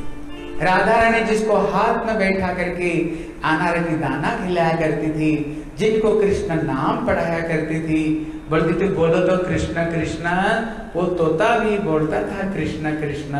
बोले, एक दिन क्या हुआ? वो तोता अपना चंचल जाति स्वभाव की वजह से एक दिन वो उड़ते उड़ते वो तोता चले गया कहाँ पर? ये चला गया नंदगांव में चला गया। एक वृक्षों को पर बैठ करके राधा रानी कृष्ण विरह में एक सुंदर श्लोक उन्होंने उच्चारण किया था। बोले, दुरापजन भर्तीना गति कृष्ण विरह में उनने एक श्लोक उच्चारण किया था, चार लाइन का श्लोक है। वो उसका मतलब है, राधा रानी कहती हैं कहते मेरे प्रेम तो श्री श्याम सुंदर से हो गया है।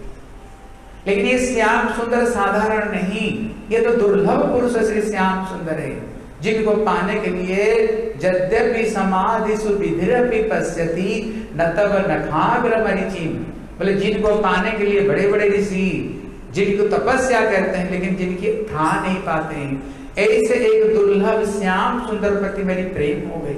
लेकिन वो वो तो साधारण व्यक्ति है नहीं, लेकिन अभी मैं उसको कैसे प्राप्त कर सकती हूँ? इसलिए वृक्ष की टहनिया पर बैठ करके राधा रानी की गला की आवाज़ जैसे बड़ी सुंदर वो कीर्तन गा रही थी। इतने में कृष्णा सुनते ही, बोले, भैया, राधा रानी की जैसे गले की आवाज़ कौन? इतना सुंदर श्लोक बोल रहा है। इतने में कृष्ण बुलाया। बुलाते ही वो तोता उड़ते हुए कृष्ण को हाथ में आ गया। बोले, बोलो तो अभी क्या बोल रहा था फिर उन्होंने, बड़े सुंदर उन्होंने वो श्लोक को उच्चारण किया, संस्कृत श्लोक को उच्चारण किया। बोले वाह ये तोता होकर के संस्कृत श्लोक उच्चारण कर रहा है और राधा रानी की गला की आवाज़ जैसे। इतने में कृष्ण ने एक सोने के पिंजरा बनवाए। वो पिंजरा बनवा करके वो तोते को उस कंकर में धर दिए। इतने में राधा रानी बड़ी दुखी हो गई। मेरे तोता कहाँ से उड़ते हुए चला गया? तब उन्होंने माधुरी का नाम के सखी को बोले बोले, देखो तो मेरी तोता कहाँ चला गया? वो घूमते घूमते जब नंदगांव में आया, देखा, श्याम सुंदर हाथ में बैठा करके अनार की दाना खिला रहे हैं और उनको बड़ी लाड़ प्यार कर रहे हैं। इतने में माधुरी का ने बोले, श्याम सुंदर, ये तोता हमारी किशोर जी की तोता है। ये उड़ते हुए चला आ गया, आप इसको दे दो। कृष्ण बोले, अगर तुम्हारी ये किशोर जी की तोता है, पालतू तोता, फिर तुम बुलाओ। अगर मेरे हाथ से उड़ते हुए तुम्हारे हाथ में चले जाए, फिर मैं समझूँगा, भैया, तोता तुम्हारे भाई तुम तोता ले लेना। बोले, श्याम सुंदर, तुम्हारे नाम ही कृष्ण है। कृष्ण मतलब क्या है? बोले, किरी मतलब होता है आकर्षण करना और स्ना मतलब आनंद देना है। जगत में इसे कौन सा व्यक्ति हो जो एक बार तुम्हारे हाथ में बैठे और तुम उसको इतने लाड़ प्यार दो, आना रखे दाना खिलाओ, कभी वो तुमको छोड़ सकता है। कृष्ण बोले, भैया, फिर तो तोता मेरी तुम जाओ। उन्होंने श्री मैया जसोदा को पास में गई, बोले, भैया, हमारी राधा रानी की पालतू तोता उड़ते हुए आ गया। श्याम सुंदर ने पकड़ लिया, देना नहीं चाहते। तुम बोल तो दे दे। बोले, कोई चिंता मत करो, कृष्णा जब गोचारण के लिए जाएँगे पीछे से, ये तोता मैं फिर भेज दूँगी। फिर श्री मैया जसोदा फिर तोते को भेज दिया। इसलिए शंकर जब ध्यानस्थ हुए उन्होंने सारे लीला को उन्होंने दर्शन किया। क्या दर्शन किया? जैसे भगवान राम जब ये जगत छोड़ कर गए, संपूर्ण अयोध्या वासियों को लेकर गए लेकिन केवल श्री हनुमान को छोड़ कर गए। बोले, क्यों? बोले, अगर हनुमान जी चला जाएगा तो जगत में, ये राम भक्ति जगत में कौन प्रचार करेगा? उसी तरह जब भगवान कृष्ण जगत से छोड़कर चले गए, संपूर्ण ब्रजवासियों को तो लेकर गए, केवल उन्नीस तोते को छोड़कर गए, जगत में ये भागवत प्रचार करने के लिए। इसलिए जी जब ध्यानस्थ हो गए, उन्होंने सब चीज़ को उन्होंने दर्शन किया है कहती है तोता क्या है, बोले जिसको स्वयं राधा रानी, बोले प्रिया सुकश्री वृषभानुजाया पवित्र चंचु प्रिय चुंबन। राधा रानी कभी कभी ये तोते को चुंबन करती थी। जब चुंबन करती थी, राधा रानी की जो अधरामृत है तोते की ठोंड में लगा हुआ है। इसलिए हम आगे सुनेंगे, जहाँ पर अठासी हज़ार ऋषि लोग बैठे हुए सौ साल, दो साल, पाँच साल के जटा जटाधारी लेकिन ये कथा सुने तो सुने किसी से? सबसे छोटा बच्चा सिर्फ़ सुखदेव गोस्वामी से। सबसे छोटे नंगे धड़के, कोई वस्त्र है नहीं, क्यों सुने? क्यों क्योंकि जो थोट में राधा जी की अधरामृत लगा हुआ है? राधा जी कौन है? राधा जी, है कौन राधा रानी। बोले, राधा रानी कोई साधारण नहीं। कहते वैदग्ध्य सिंधु, रनुना गई का सिंधु। बात्सल्य सिंधु रति सांद्र कृपाय का सिंधु श्री राधिके स्फुरत में हृदय के सिंधु राधा रानी नहीं, स्वयं राधा रानी रस की समुद्र है, प्रेम की समुद्र है और अमृत की समुद्र है, बात्सल्य की समुद्र है, श्रीमती राधा रानी इसलिए राधा शब्द को उल्टा दो, क्या होगा? ज़ोर से बोलो। ज़ोर से बोलो। इसलिए कहती है राधा रानी नहीं, ये कृष्ण प्रेम रस की ये श्री धारा श्री राधा रानी। बोलो, श्रीमती राधा रानी की इसलिए शंकर जी ने जब उन्होंने ध्यानस्थ हुए, सब कुछ उन्होंने देखा है, यही तोता जो कथा सुनकर गया, और एक दिन जगत में ये भागवत कथा को प्रचार करेगा, शंकर जी प्रसन्न हो गए। बोले, कथा सुनाना मेरा सार्थक सार्थकता हो गया। हाँ देखो ये कथा की कितने महिमा की ये चीज़ को देखो। शंकर जी स्वयं कहते पार्वती, जो सत्यम शिवम सुंदरम, जो देव देव महादेव, जो जोगी जोगी महायोगी शंकर। शंकर जी कहते पार्वती, ये भागवत कथा सुन करके ही मेरे को अमरत्व की प्राप्ति हुई। पार्वती पहले शरीर छोड़ी, लेकिन कब पार्वती अमरत्व की प्राप्त की? जब उन्होंने भागवत कथा सुनी। तब समझो ये कथा के कितने महत्व है। शंकर पार्वती स्वयं ये कथा सुन करके ही अमरत्व ये दोनों ही प्राप्त किया अमरत्व को प्राप्त अगर हम भी ये कथा सुनेंगे ना, हम भी अमरत्व को प्राप्त करेंगे। जो जो कथा सुने हैं, वो सबके सब अमर बने। इसलिए कथा सुनने का पहला लाभ क्या है? बोले, तब कथा अमृता।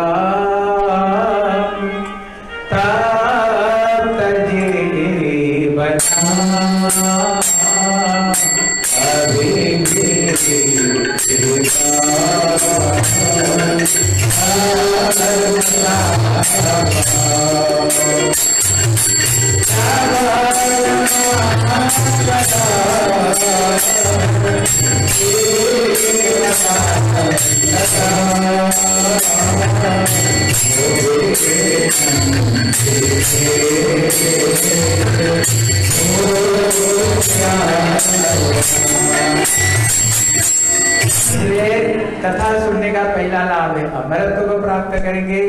दूसरा लाभ है, जगत का जितने दुख कष्ट है, हैं, जगत का जितने कोई तन से दुखी, कोई मन से दुखी, कोई धन से दुखी, कोई परिवार से दुखी, इसलिए कहते ना, कोई तन दुखी, कोई मन दुखी, कोई धन बिना रहत उदास, थोड़े थोड़े सब दुखी सुखी कृष्ण का दास। इसलिए बोले, कलमसा अपहम, कि जितने सारे पाप हमारी नष्ट हो जाएगी। कहते कभी भी रीलितम जिन कथाओं को बड़े बड़े कवि लोग जिसको गान करते हैं, इसलिए कथा सर्वप्रथम किसके मुँह से निकली है? बोले भगवान के मुखार विद से ये चतुश्लोकी रूप में सबसे पहले ये भगवान ब्रह्मा जी को चतुश्लोकी रूप में दिया। ब्रह्मा जी नारद जी को, नारद जी व्यास को, व्यास सुखदेव गोस्वामी को, सुखदेव परिखी और ऐसे करते करते इस जगत में कथाएँ हैं। इसलिए जितने सारे पाप भी कथा से कल नष्ट हो जाएगी, कथा सुन, जो सुनेगा उसको क्या बोले? श्री श्री मतलब शोभा, श्री मतलब सौंदर्य, श्री मतलब जस भी जगत में मिलेगा, और श्री मतलब लक्ष्मी भी मिलेगी। ता मतलब संसार का जितने बंधन है, सारे बंधन नष्ट हो जाएगी। इसलिए कहते हैं, जगत में बहुत बड़ा बड़ा दान है। कोई स्कूल खोल दे, कोई कॉलेज खोल दे, कोई हॉस्पिटल खोल दे, लेकिन गोपियाँ कहती है, जगत में सबसे बड़ा दान किया है? बोले, जगत में जो ये श्रीमद भागवत कथा को दान करते हैं, ये दान जगत में सबसे बड़ा दान है। इसलिए हमारे नवीन प्रभु जी, और इनको परिवार वाले है कि नहीं नवीन यहाँ घूमता रहता है इधर इसलिए इसलिए इसलिए जो कथा को जो दान करते हैं ना, ये जगत में सबसे बड़ा दान जिसने कथा दान की। इसलिए आज हम लोग बड़े भाग्यवान हैं, जो रमन बिहारी गौड़ी मठ में सात दिन तक ये कथा सुनेंगे। आज हमारी, हम हम लोगों का सौभाग्य से हमारे श्री मंदिर का जो प्रेसिडेंट है, हमारे श्री बन महाराज भी यहाँ पर उपस्थित है और यहाँ पर श्री, हमारे श्री जो सेक्रेटरी, हमारे श्री पद्मनाभ महाराज हैं और वाइस प्रेसिडेंट जो हमारे रामचंद्र प्रभु जी है और जो संयोजक और सारे जो चलाने वाले हमारे श्री गोधैर्य महाराज यहाँ पर बैठे।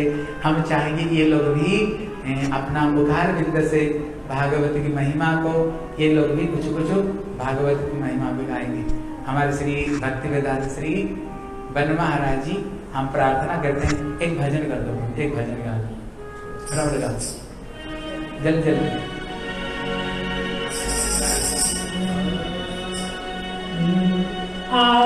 जिनके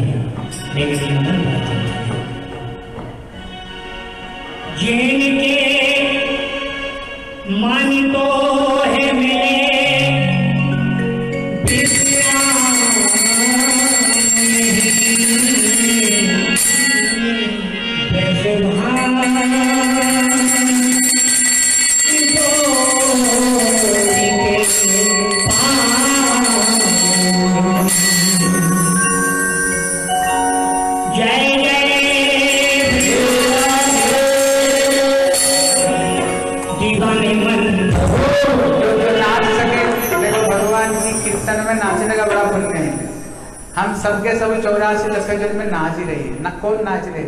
कोई बहू को सामने नाच रही कोई सास को सामने नाच रही कोई पति को सामने नाच रहा है कोई बेटे को सामने कोई पति को सामने। मतलब को, को, कोई पैसा को सामने। नाच रही नहीं। कौन नहीं नाच रहा है? मतलब बताओ कब तक नाचेगा ऐसे? जब तक रमन बिहारी को सामने नहीं नाच लेते हो उनको सामने एक बार नाच लो ना सारे नाचना तुम्हारी खत्म हो जाएगी। अब देखो भगवान की कीर्तन में जो नहीं नाचेगा फिर तो उसको चौरासी लगे जिसमें सबको सामने नाचना पड़ेगा। इसलिए सब एक बार खड़े होकर के नाच लो, प्रभु जी। नाचने का एक भजन गाएँगे बोलो। हैं दीवाने मन दीवाने मन दीवाने मन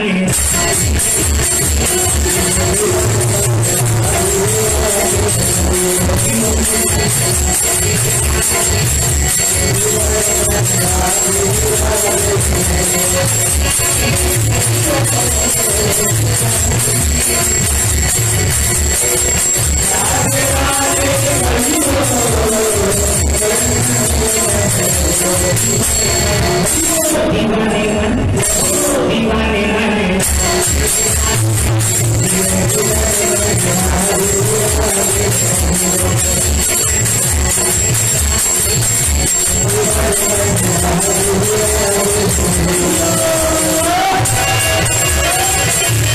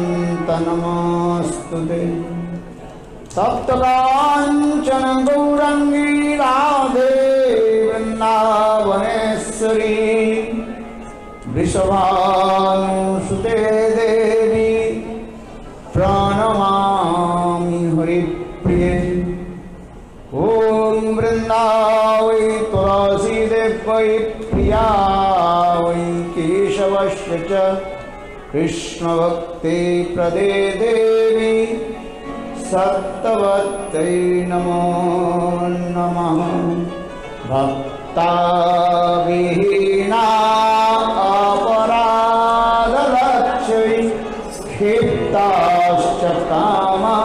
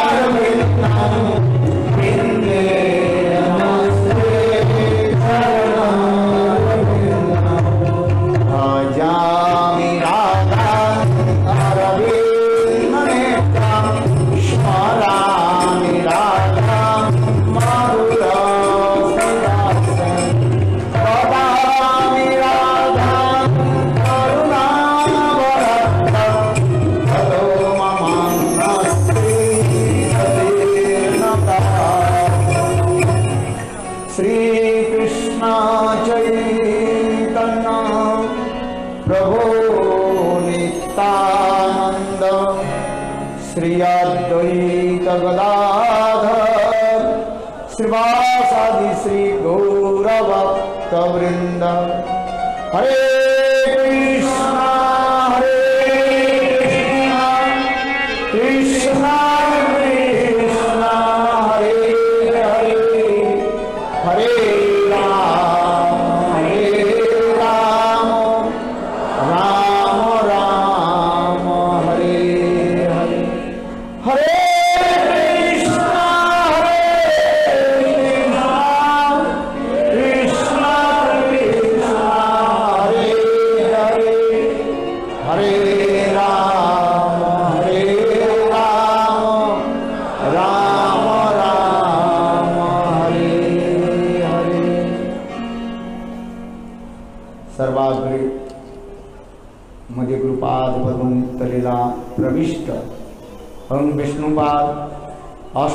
सदस्य श्रीमाद भक्ति वेदांत शिल वामन गोस्वामी महाराज एवं नित्य लीला प्रविष्ट ओम विष्णुपाद अष्टोत्तर सदस्य श्रीमाद भक्ति वेदांत शिल नारायण गोस्वामी महाराज के अभय चरण कमलों में अनंत पटी साष्टांग दंडवत ज्ञापन करता हूँ।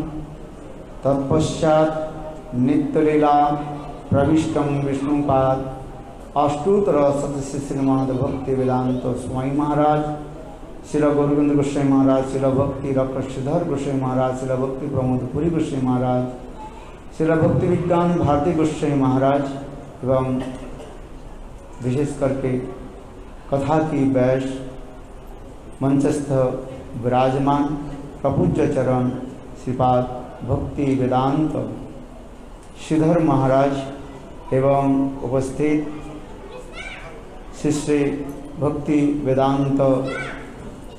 पद्मनाभ महाराज, श्री श्री भक्ति वेदांत। बुधन महाराज एवं परम पूज्यपाद रामचंद्र प्रभु। एवं उपस्थित समस्त वैष्णव वैष्णववृंद, मातृवृंद, गौरगत सज्जनवृंद हरि कथा पिपासु श्रोतृवृंद सभी के चरण कमलों में मेरा यथायथ दंडवत प्रणाम स्वीकार हो। बहुत आनंद रहस्य की बात है। हम लोग आज श्री गुरुपाद गुरु की चरण कमल की सानिध्य में बैठे हुए हैं और भगवान की अपार रसमय कथा श्रवण कर रहे हैं। अभी भी हम लोगों ने श्रवण किया। जीवों की जब, अनेकों अनेकों जन्मों की जब सुकृति एकत्रित हो जाता है, तब वो जीव सत्संग करते हैं। क्योंकि जब तक हम सत्संग नहीं करें, तब तक हमारे ज्ञान विकसित नहीं होता है, प्रकाश नहीं होता बिनु सत्संग विवेक ना हो राम कृपा बिनु भगवान की कृपा जिसके ऊपर वर्षित होती है वो सत्संग करते हैं। सभी सत्संग में नहीं आएँगे। है? जैसे महाराज जी ने बहुत सुंदर रूप में बताया। है? विवाह आदि में नोटा जत्था निमंत्रण देने पर लोग आते हैं। वो भी जिसके नहीं मिला, वो तो और भी अभिमान कर लेते आते ही नहीं किंतु देखो, भगवत कथा में कहते निमंत्रण मिले अथवा नहीं मिले, सबको आना चाहिए। है? आहूत, अनाहुत, रवाहुत। सभी के आना चाहिए। क्योंकि इसमें हमारे लाभ लाभ ही है। नुकसान कुछ नहीं है, क्षति नहीं है कुछ। है? और विशेष करके जिन लोग की, अनेक जन्म की स्वीकृति पुण्य अर्जन किया, वही, वह लोग ही भागवत में आएँगे और भागवत कथा श्रवण करेंगे। सब लोग की सब लोग तो नहीं आएँगे। इसलिए भागवत कथा ये साक्षात भगवत स्वरूप ही है। पदम पुराण में पुष्टिकरण कर दिया। ये भागवत का ग्रंथ नहीं है। ये साक्षात भगवान। प्रकट है। इसमें पद्म पुराण में वर्ण वर्णन हो रहे कितने स्कंद श्रीमद भागवत कितना है? है? भागवत कितने स्कंद है? पाँच स्कंद है। बारह स्कंद है। दादा स्कंद श्रीमद भागवतम। है? ये देखो ये श्रीमद भागवतम ये दादा स्कंध जो है, है? ट्वेल्थ स्कंद श्रीमद भागवतम। ये साक्षात भगवत स्वरूप ही। है और स्वयं भगवान की अंग स्वरूप ही है। इसलिए पद्म पुराण में स्पष्टीकरण करें पादु द्वितीय। प्रथम और द्वितीय स्कंध इस श्रीमद भागवतम भगवान के साक्षात दो चरण कमल कहा गया। तृतीय स्कंद और चतुर्थ स्कंद श्रीमद भागवतम भगवान के जो है, ये उड़ू कहा गया था पंचम स्कंद श्रीमद भागवतम भगवान के जो साक्षात नाभि कमल कहा गया षष्ठ और सप्तम स्कंद श्रीमद भागवतम। भगवान के जो है, ये साक्षात दो भुजाएँ कहा गया। अष्टम स्कंद श्रीमद भागवत के बक्षस्थल कहा गया, और नवम स्कंद श्रीमद भागवतम भगवान के जो है एक कंठ स्वरूप कहा गया। और दसम स्कंद श्रीमद भागवतम, भगवान के संसात सुंदर मंजु हस्य युक्त मुखारविंद कहा गया। इतने सुंदर जो प्रकाशमान ये दसम स्कंद कहा गया। भगवान के सच्चात मुखारविंदन कहा गया। एकादशम ललाटो भात। एकादश स्कंद श्रीमद भागवतम भगवान के ललाट स्वरूप है। और द्वादशम शिरस। ये द्वादश स्कंद श्रीमद भागवतम भगवान के साक्षात इस शिरोदेश मस्तक कहा इसलिए कहते तमादिदेवम पूर्ण दान तमाल वर्णम सुहितावतारम ये साक्षात भगवान जीवों की कल्याण करने के लिए संसार रूपी महासमुद्र से पार कराने के लिए ये सेतु स्वरूप है ब्रिज बना है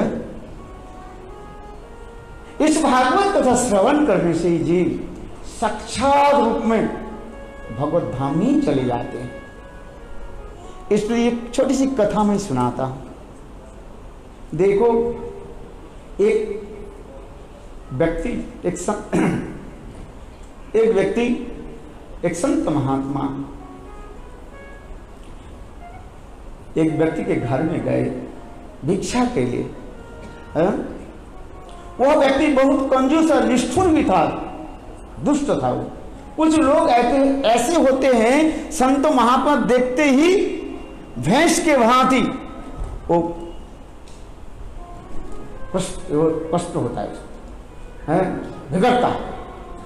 और फिर संत महात्मा जब गए, और उन्होंने किया कि वो कपड़ा, जिस कपड़े जो है, वो पोछा करते ना? कपड़ा जो, के द्वारा जो पोछते और उस कपड़े को क्या की उस संत महात्मा के ऊपर फेंक दिया। संत महात्मा बोले, कोई भी बात नहीं।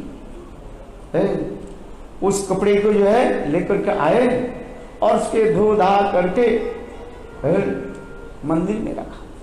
चलो, इस पे ठाकुर जी के सेवा में लगा दी मंदिर के सेवा में लगा दी देखो, ऐसे करते करते कुछ दिन चले गए। वह व्यक्ति मर गया। कौन? जो कपड़ा पोछा जो फेंका था।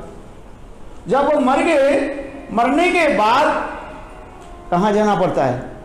सभी के देखो, मृत्यु के पश्चात जमलोक में जाना पड़ता है। चित्रगुप्त जम महाराज के जो क्लार्क जो है, उसके का क्या नाम है? चित्रगुप्त कहा जाता है। चित्रगुप्त। गुप्त रूप में सारे चित्र ले रहे हैं, हम क्या कर रहे हैं? क्या नहीं कर रहे हैं? है? इसलिए उसके नाम है जमदूत के, क्लार्क के क्या नाम है? चित्रगुप्त सीसीटीवी है? सब हम लोग किसके अंडर में बैठे हुए हैं? सीसीटीवी में कोई जा नहीं सकते। तो उसी प्रकार जब महाराज चित्रगुप्त के बोले, बताओ इसके पाप पुण्य बताओ। चित्रगुप्त बोले, महाराज यह जीवन में कोई पुण्य किया ही नहीं। ये महापापी है। जितने से जितने बुरी कर्म किया है तो अनंत काल के लिए नरक में जाना पड़ेगा। इस कथा सुन करके जब महाराज के हृदय द्रवीभूत हो गया। हाय हाय, जीवन में कोई पुण्य ही नहीं किया। अरे, कुछ जीवन में कुछ भी तो दान पुण्य तो किए होंगे। बोले, नहीं, कुछ दान पुण्य नहीं किया। है? कुछ लोग होते हैं ना बंदर के भांति है, है? नोच करके खा लेते आप देखा वृंदावन में गए ना देखा कभी? बंदरी जो है अपने बच्चा को खिलाने के लिए नहीं दिखेगी। आप एक केला दे दीजिए उस बच्चा के हाथ में मिले वो भी छीन करके खा जाएगी? ठीक उसी प्रकार कहेंगे महाराज ये व्यक्ति जीवन में कोई दान पुण्य नहीं किया। ये अनंत काल के नरक में जाए। अच्छा। जब महाराज चित्रगुप्त के बोले अच्छा इसको देखो तो। और एक बार रिवाइज करो इसकी। लाइफ में कोई पुण्य किया कि नहीं? तो उसमें देखा क्या, एक संत महात्मा आए थे और उस संत महात्मा के मारने के लिए उन्होंने क्या फेंका? पोछा फेंक। बोले अरे, कुछ तो दिया तो है। क्या दिया? कपड़ा तो दान किया ना, बस तो दान हो गया। है? चलो, जब महाराज ने कहने लगे, अच्छे तो दान तो कुछ दिया, इस दान के फल स्वरूप इसको क्या की जाए? 24 मिनट के लिए, एक क्षण के लिए उसे स्वर्गलोक में भेजा जाए। उसके पूछा, तुम बताओ, कहाँ पहले जाना चाहते हो? 24 मिनट के लिए तुम्हें स्वर्गलोक में जाना है।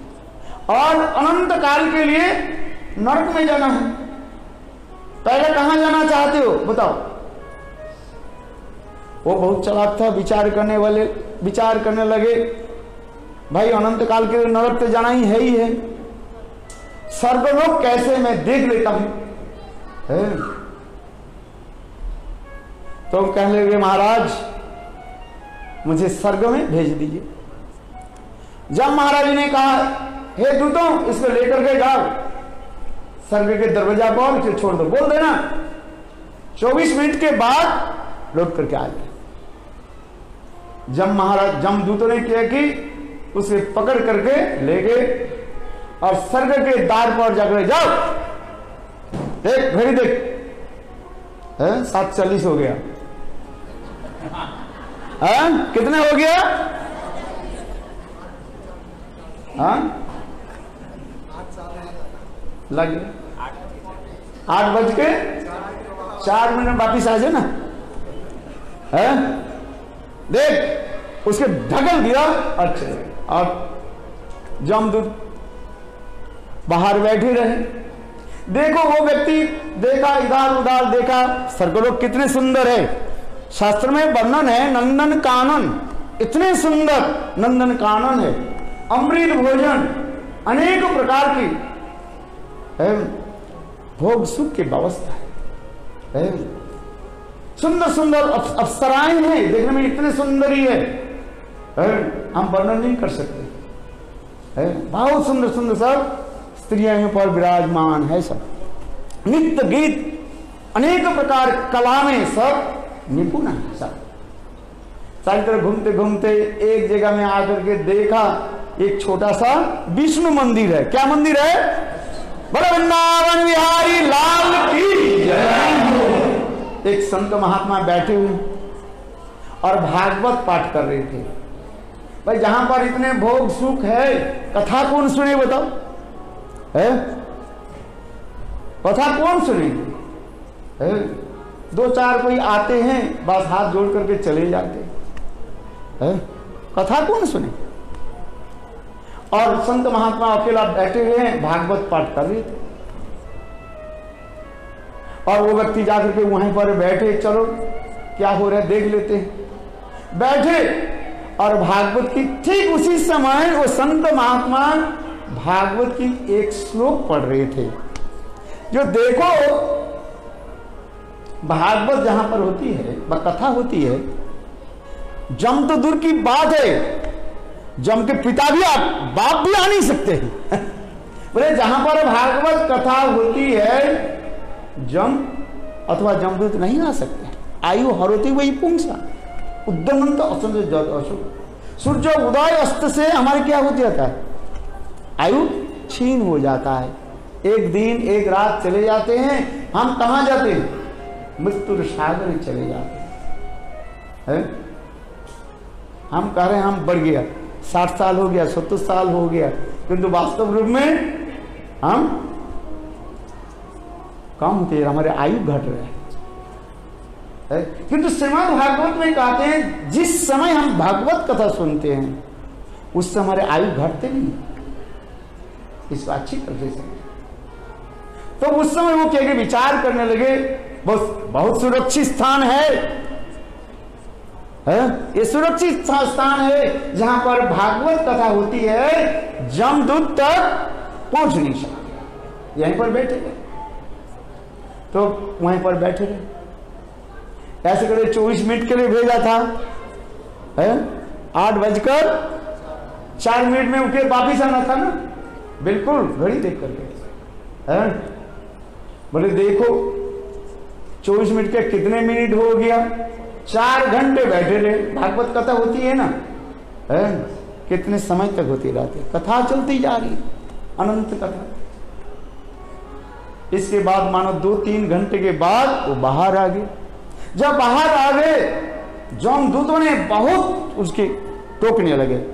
पिटाई करने लगे तुमको बीस चौबीस मिनट के लिए भेजा था और तुम इतने समय तक कहा उसके धक्का लेकर के बाहर लेकर के आए और जब महाराज के निकट आकर बोले, महाराज, इसको अधिक दंड दिया जाए। ये चार चौबीस मिनट के लिए भेजा था और कितने मिनट लगा दी? कितने चार घंटा लगा दिया है? चौबीस मिनट के लिए कितने घंटे, कितने लगा दी? चार घंटे जब महाराज ने रेट जम दो तो सुन। इतने उद्दंड मत हो, सुन। क्या बात है सुनो। जब महाराज कहते बेटा, तुम स्वर्ग में इतने समय तक क्या किया? तुमको तो 24 मिनट के लिए भेजा था ना ना हाँ जी क्या किया? उन्होंने कहा, मैंने एक भागवत कथा में बैठ गया। कथा सुन। रहा कथा सुना? ना हाँ जी। इतने मधुर कथा में सुना। जब महाराज कहने लगी अच्छा जो भागवत कथा सुनते हैं। वो महाभगवान है, है? जब महाराज कोई साधारण व्यक्ति नहीं है, है? द्वादश महाजन में अन्नतम महाजन जब महाराज कहा जाए। शंभु नारद शंभु कुमार कुपिल मनु प्रहलाद जनों को भीष्म बोली की बयम जब महाराज स्वयं कहते हैं। है? बारह महाजनों में जब महाराज अन्नतम भी कहा गया। ये साधारण नहीं इसलिए जब महाराज को प्रशंसा कर हो तुम महाभगवान हो। भागवत कथा श्रवण की। और शांति से दो प्रश्न कर दिया, आगे बताइए, भागवत कथा श्रवण के फल क्या है? आप लोग भागवत कथा श्रवण करें ना। भागवत कथा श्रवण के फल के सुनने के फल क्या है? भाई, जो कुछ भी हम करते हैं, हम क्या चाहते हैं? लाभ चाहते हैं कि नुकसान चाहते हैं? बताइए। लाभ चाहते हैं ना? है? कोई थोड़ी ऐसे चाहते हैं जो मैं नुकसान कर लूँ है? प्रॉफिट एंड लॉस अकाउंट है? सब चाहते हैं। बोले हमारे प्रॉफिट तो हो। इस प्रकार कहने लगे, महाराज, ये बताइए, भागवत कथा श्रवण के फल क्या है? यह मुझे बता दीजिए। जब जब महाराज कहने लगे, ये तो मैं बता नहीं सकता। वास्तव में भागवत कथा श्रवण की फल क्या है? क्या बताऊँ? चलो एक काम करें। ब्रह्मा जी के पास चले। ब्रह्मा जी के पास गए?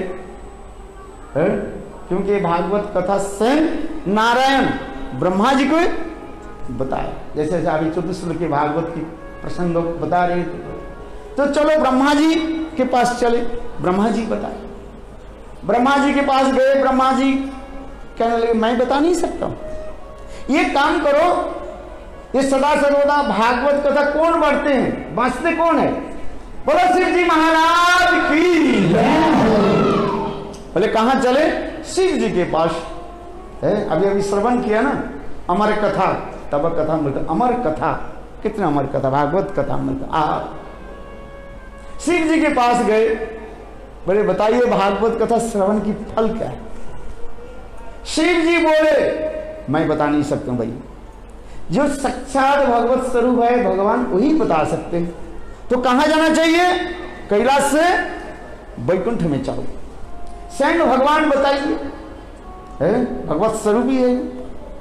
भागवत स्वरूप स्वयं भगवान ही बताए वो व्यक्ति जो था, बहुत चलाक था। कहने, देखो, सुबह से लेकर के शाम हो गया। इधर से उधर से घुमा रहे हो। ना खाने की पूछ दिया, पीने की पूछ दिया, है?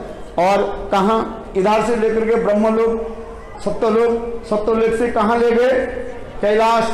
और फिर कह रहे, कहा वैकुंठ? पता नहीं, पता मैं चल नहीं सकता। मैं जा नहीं सकता।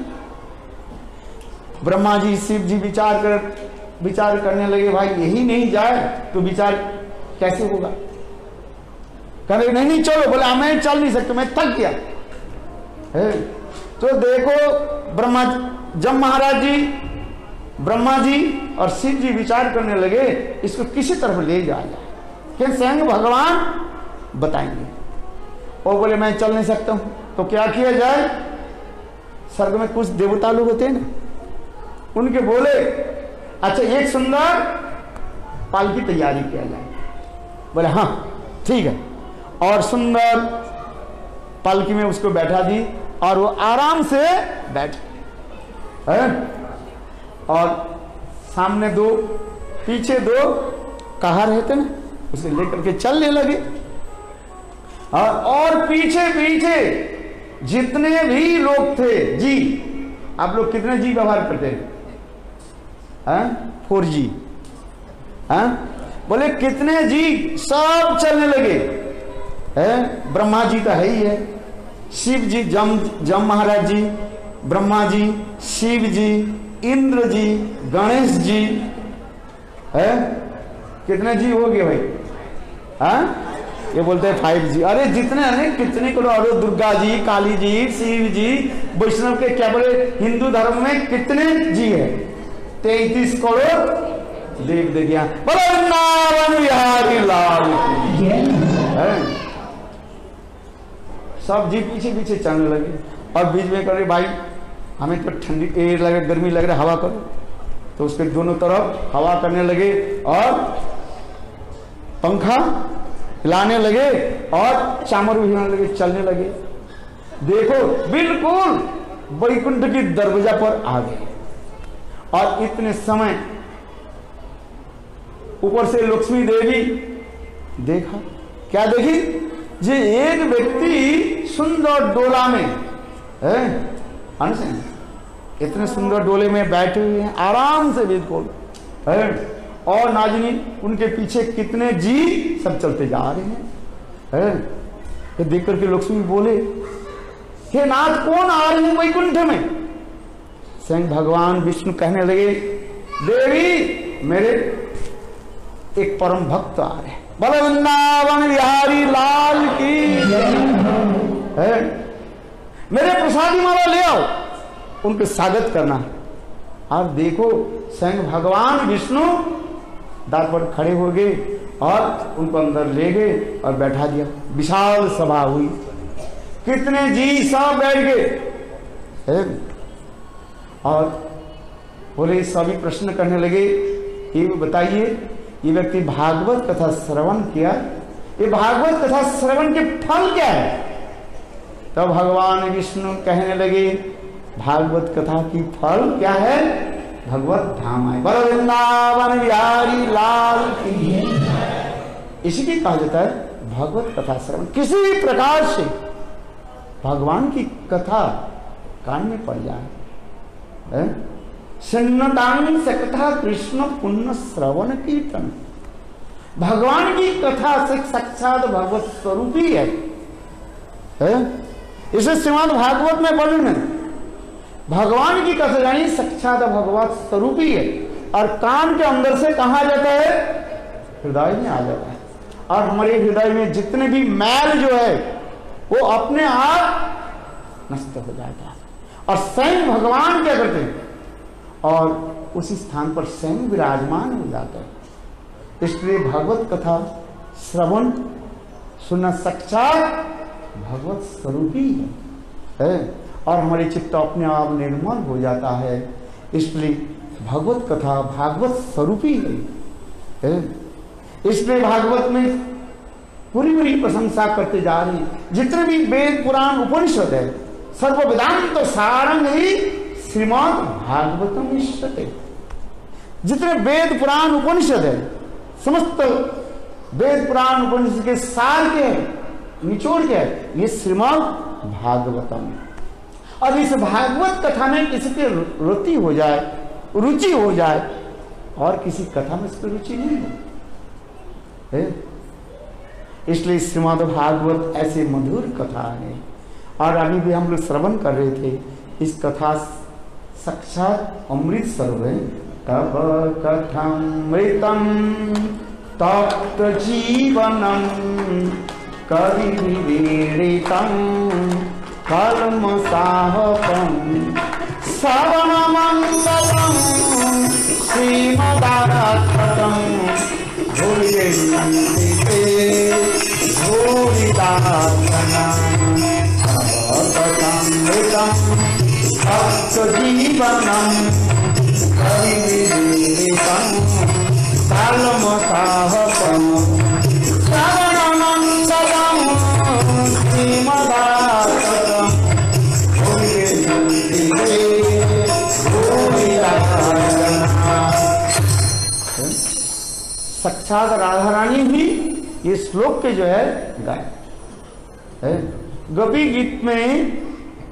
ये साक्षात राधा रानी ही इस श्लोक के जो है उच्चारण किया।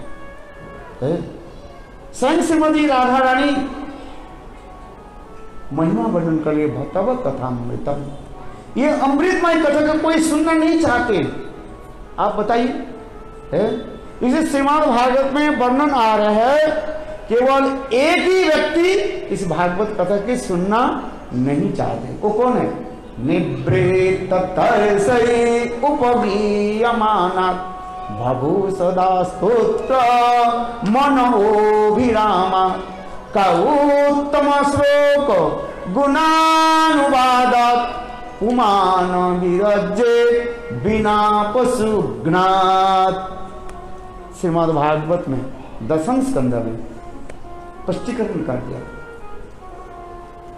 निवृत्त तरसई उपगीय माना, जो संसार के दुख में जान करके। है? क्या करते हैं? ना, ब्रह्म सुख के लिए, यानी ब्रह्म लय होने के लिए जाते हैं। इसको ब्रह्म ज्ञानी कहा जाता है। ब्रह्म में लय होना चाहते हैं। है? ये ऐसे व्यक्ति भी भगवत कथा श्रवण करे, वो ब्रह्म ज्ञान के छोड़ देते हैं। भगवत कथा में इतने शक्ति है, ताकत है। है? ब्रह्मज्ञानी भी छोड़ देते बड़े बड़े ब्रह्मज्ञ ऋषि लोग भी छोड़ देते। बोले मुझे ब्रह्म ज्ञान मुझे नहीं चाहिए। ना मुझे ब्रह्म में लय होना नहीं चाहिए। भगवत कथा में इसकी ताकत है, शक्ति है। इस निवृत्त तरसे उपगीयमाना भवुसदस्तुत्र मनोभिरामा जो संसार में दुखी है, है? जैसे महाराज जी आज बताया ना कौन दुख कौन इस संसार में कौन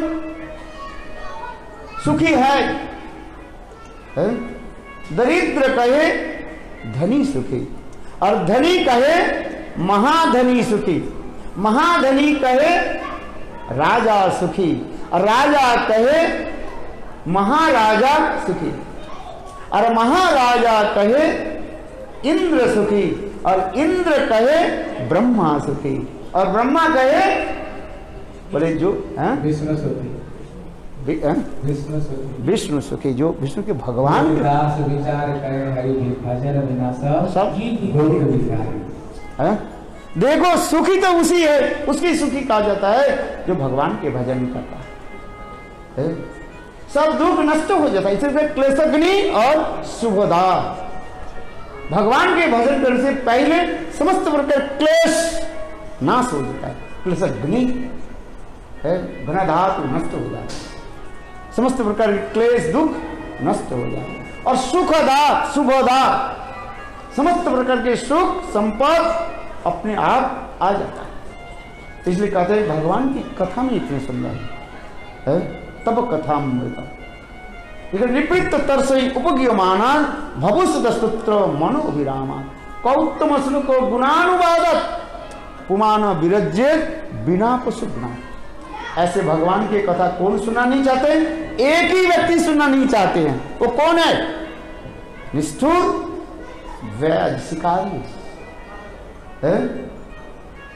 जो प्राणियों पे हत्या करते करते, मारते मारते, जिनके हृदय कठोर हो गया वो सुना नहीं चाहता तात्पर्य क्या है? जो परिवजन नहीं करता, शास्त्र में लिखा है, वो मूर्ख है। इसलिए जीवन की तात्पर्य है हरि भजन करना और भगवत कथा श्रवण। भगवत कथा श्रवण की फल है, भगवान ने हमारी रति की। है? सुन लिया नित्य गीत हो गया यही समाप्त तो नहीं। है? भगवत कथा की श्रवण के भगवत नाम में हमारा रुचि हो जाए बस। हरे कृष्णा हरे कृष्णा कृष्णा कृष्णा हरे राम। हरे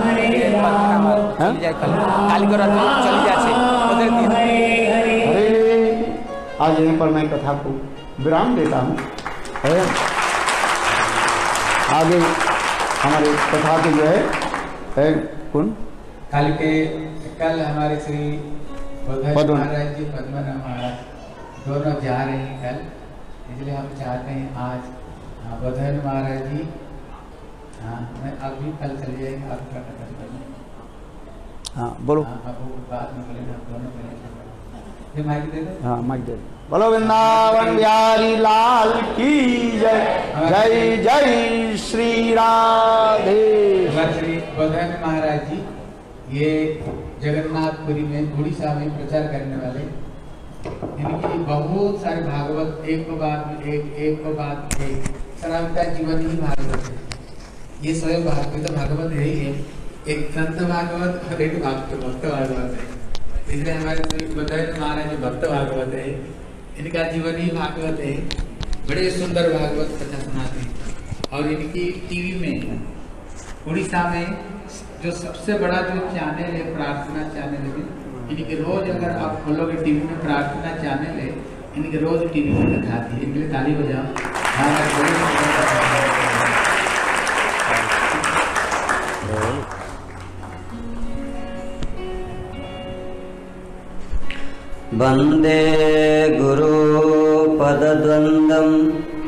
भक्तवृन्द समन्वितम् श्रीचैतन्यप्रभुं वन्दे नित्यानन्दं सहोदितम् श्रीनन्दनन्दनं वन्दे राधिका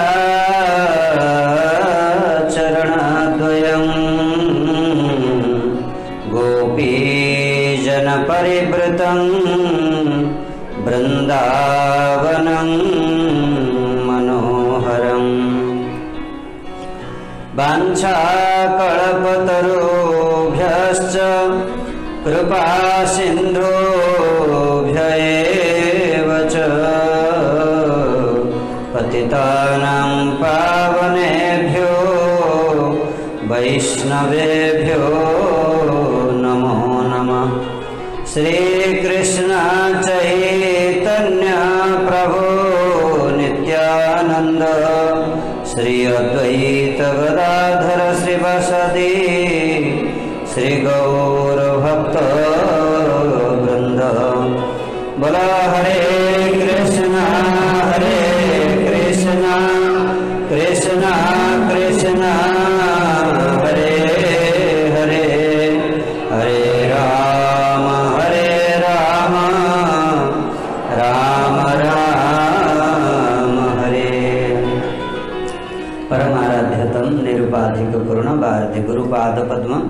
नित्य प्रविष्ट विष्णुपाद अष्टोत्तर शत श्री श्रीमद भक्ति वेदांत नारायण गोस्वामी महाराज अनंत चरण कमल दंडवत प्रणवन के हेतु की कृपा प्रार्थना करता हूँ शिक्षा गुरुपाद पद्म श्री श्रीमद भक्ति विज्ञान भारती गोस्वामी महाराज जी का चरण कमल में षष्टंग दंडवत प्रणवन की हेतु की कृपा प्रार्थना करता हूँ अनंत कोटि वैष्णव वृंद सबके चरण कमल दंडवत प्रणवन के हेतु की कृपा प्रार्थना पूज्यपाद श्रीपद भक्ति वेदांत वन महाराज जी, श्रीपद भक्ति वेदांत श्रीधर महाराज जी पूज्यपाद रामचंद्र प्रभु पूज्यपाद भक्ति वेदांत पद्मनाभ महाराज।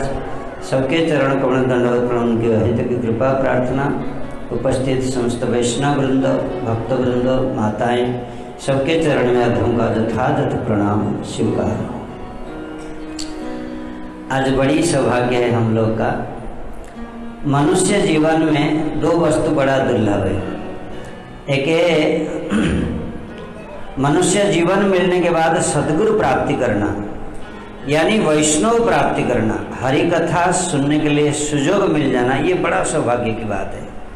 महाराज जी बता रहे थे ना, कि सतांग प्रसंगात मम बीरज संविदो रसायन कथा। तज्जोषण आसु अपवर्ग वर्तमनि श्रद्धा भक्तिरतिरनुक्रमेष्यति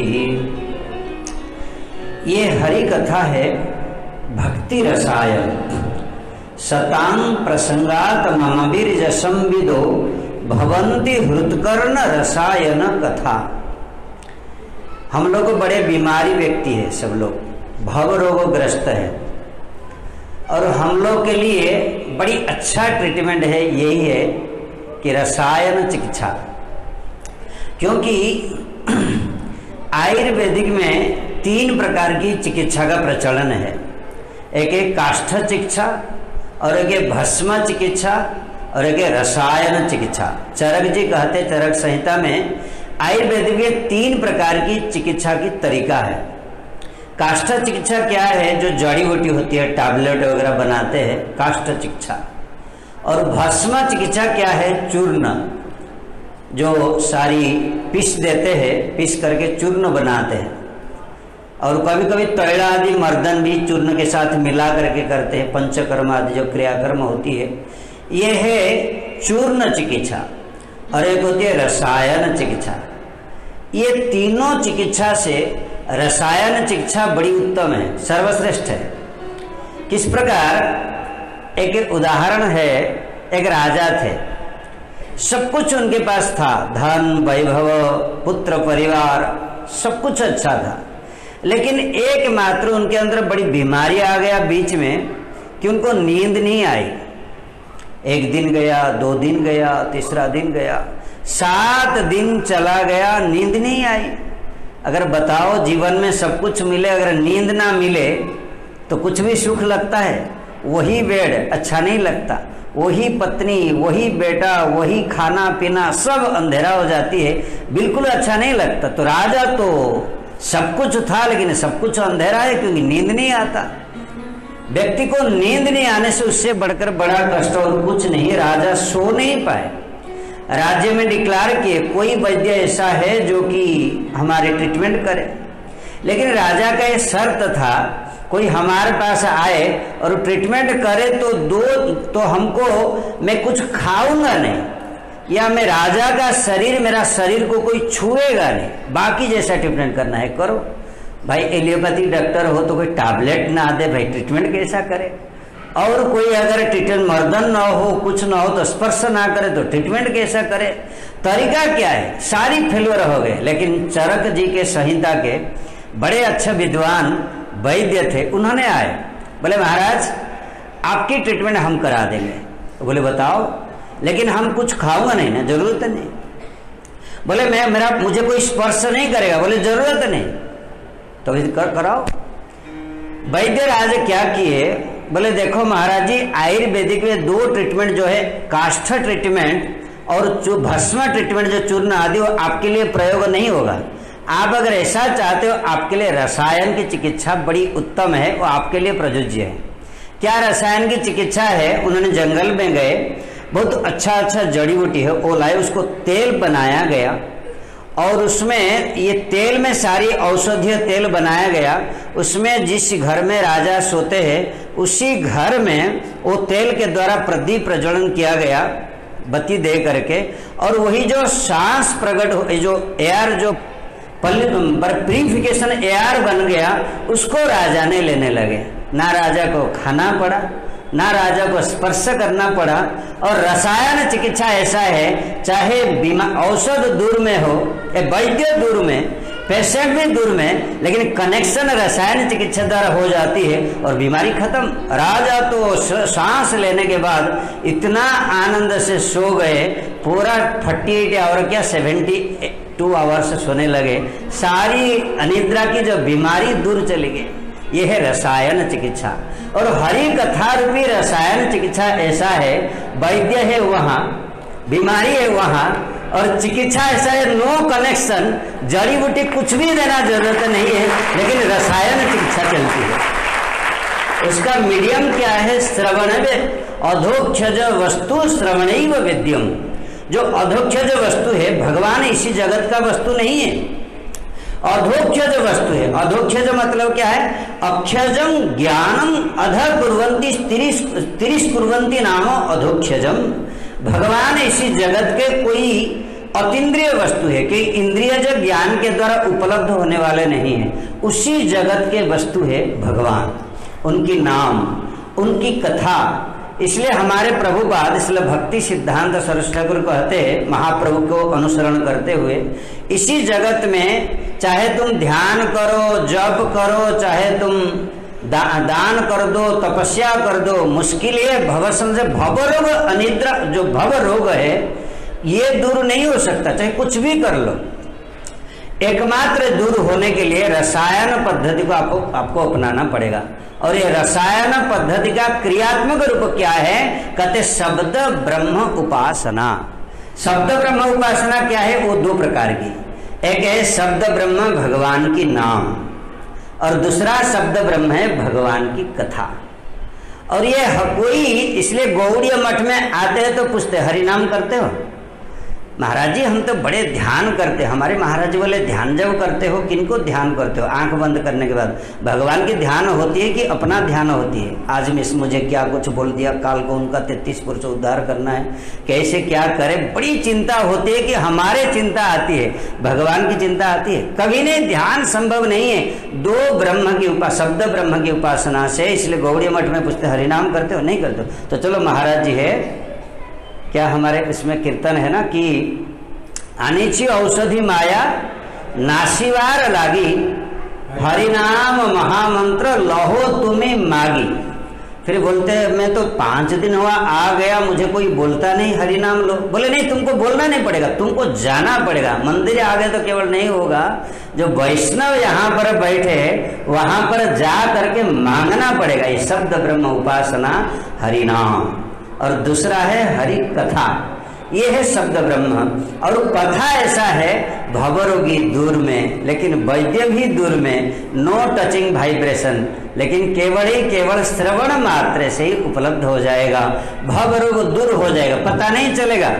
ऐसा नहीं कि मैं काल गया, क्यों नहीं पता चला, क्यों, कैसे क्या हो रहा है, क्या नहीं। सुनते चलो, अपने आप हो जाएगा। सद्यो हृदय अवरुध्यते अत्र पृथ्वी शुश्रूषविस्त क्षणात्।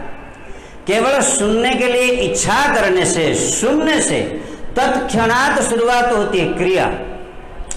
और बीमारी कभी कभी हो जाती है रिएक्शन हो जाती है। लेकिन यहाँ पर रिएक्शन की कोई भावना नहीं है, लेकिन एक रिएक्शन नहीं है। एक कभी कभी सुनने के बाद भी होता नहीं। क्या कारण है?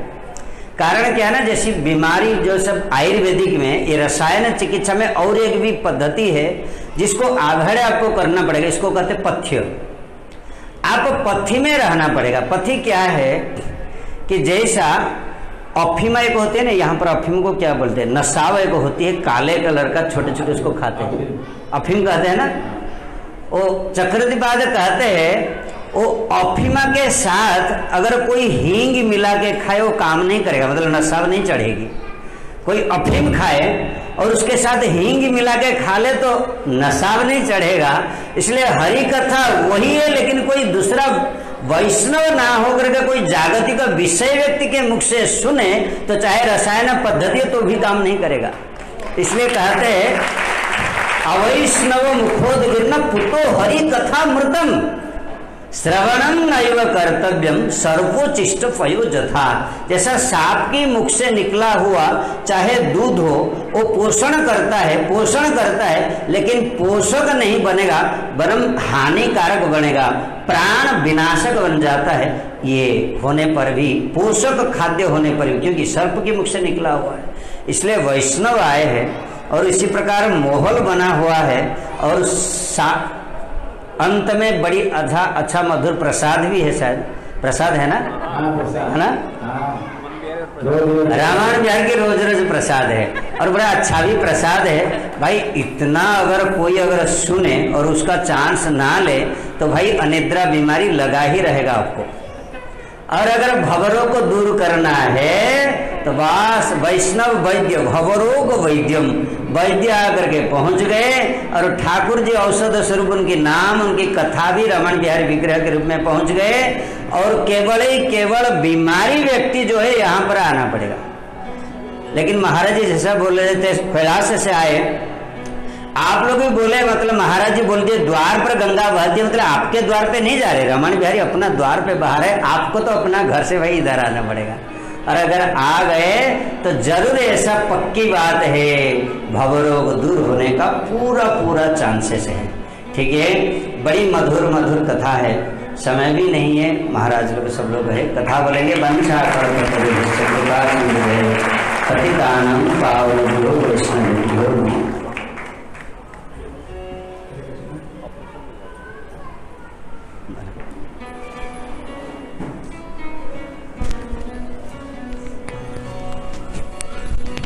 लोग तो फंस गए माइक माइक एक ही हाथ से, दूसरे दूसरे से, तीसरे पे जा रहे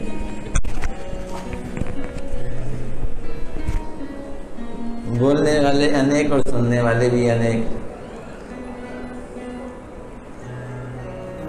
भगवान की ऐसी इच्छा, वो भी श्री रमन बिहारी गौड़िया मठ में। श्री श्री गौर हरि राधा रमन की। राधा रमन बिहारी जी की श्री गुरुदेव की नमो विष्णुपदाय राधिकाय प्रियात्मने श्री श्रीमद भक्ति वेदांत नारायण गोस्वामी इति नामिने। श्री कृष्ण लीला कथने सुलक्षम उदारे मधुरे गुणेश्च युक्तम। वरम वरेण्यम पुरुष महांतम नारायण कुमार श्री नमामि। वही एक पीछे से मेरे लिए म्यूज़िक बंद कर दो, मुझे डिस्टर्ब हो जाता है। थैंक यू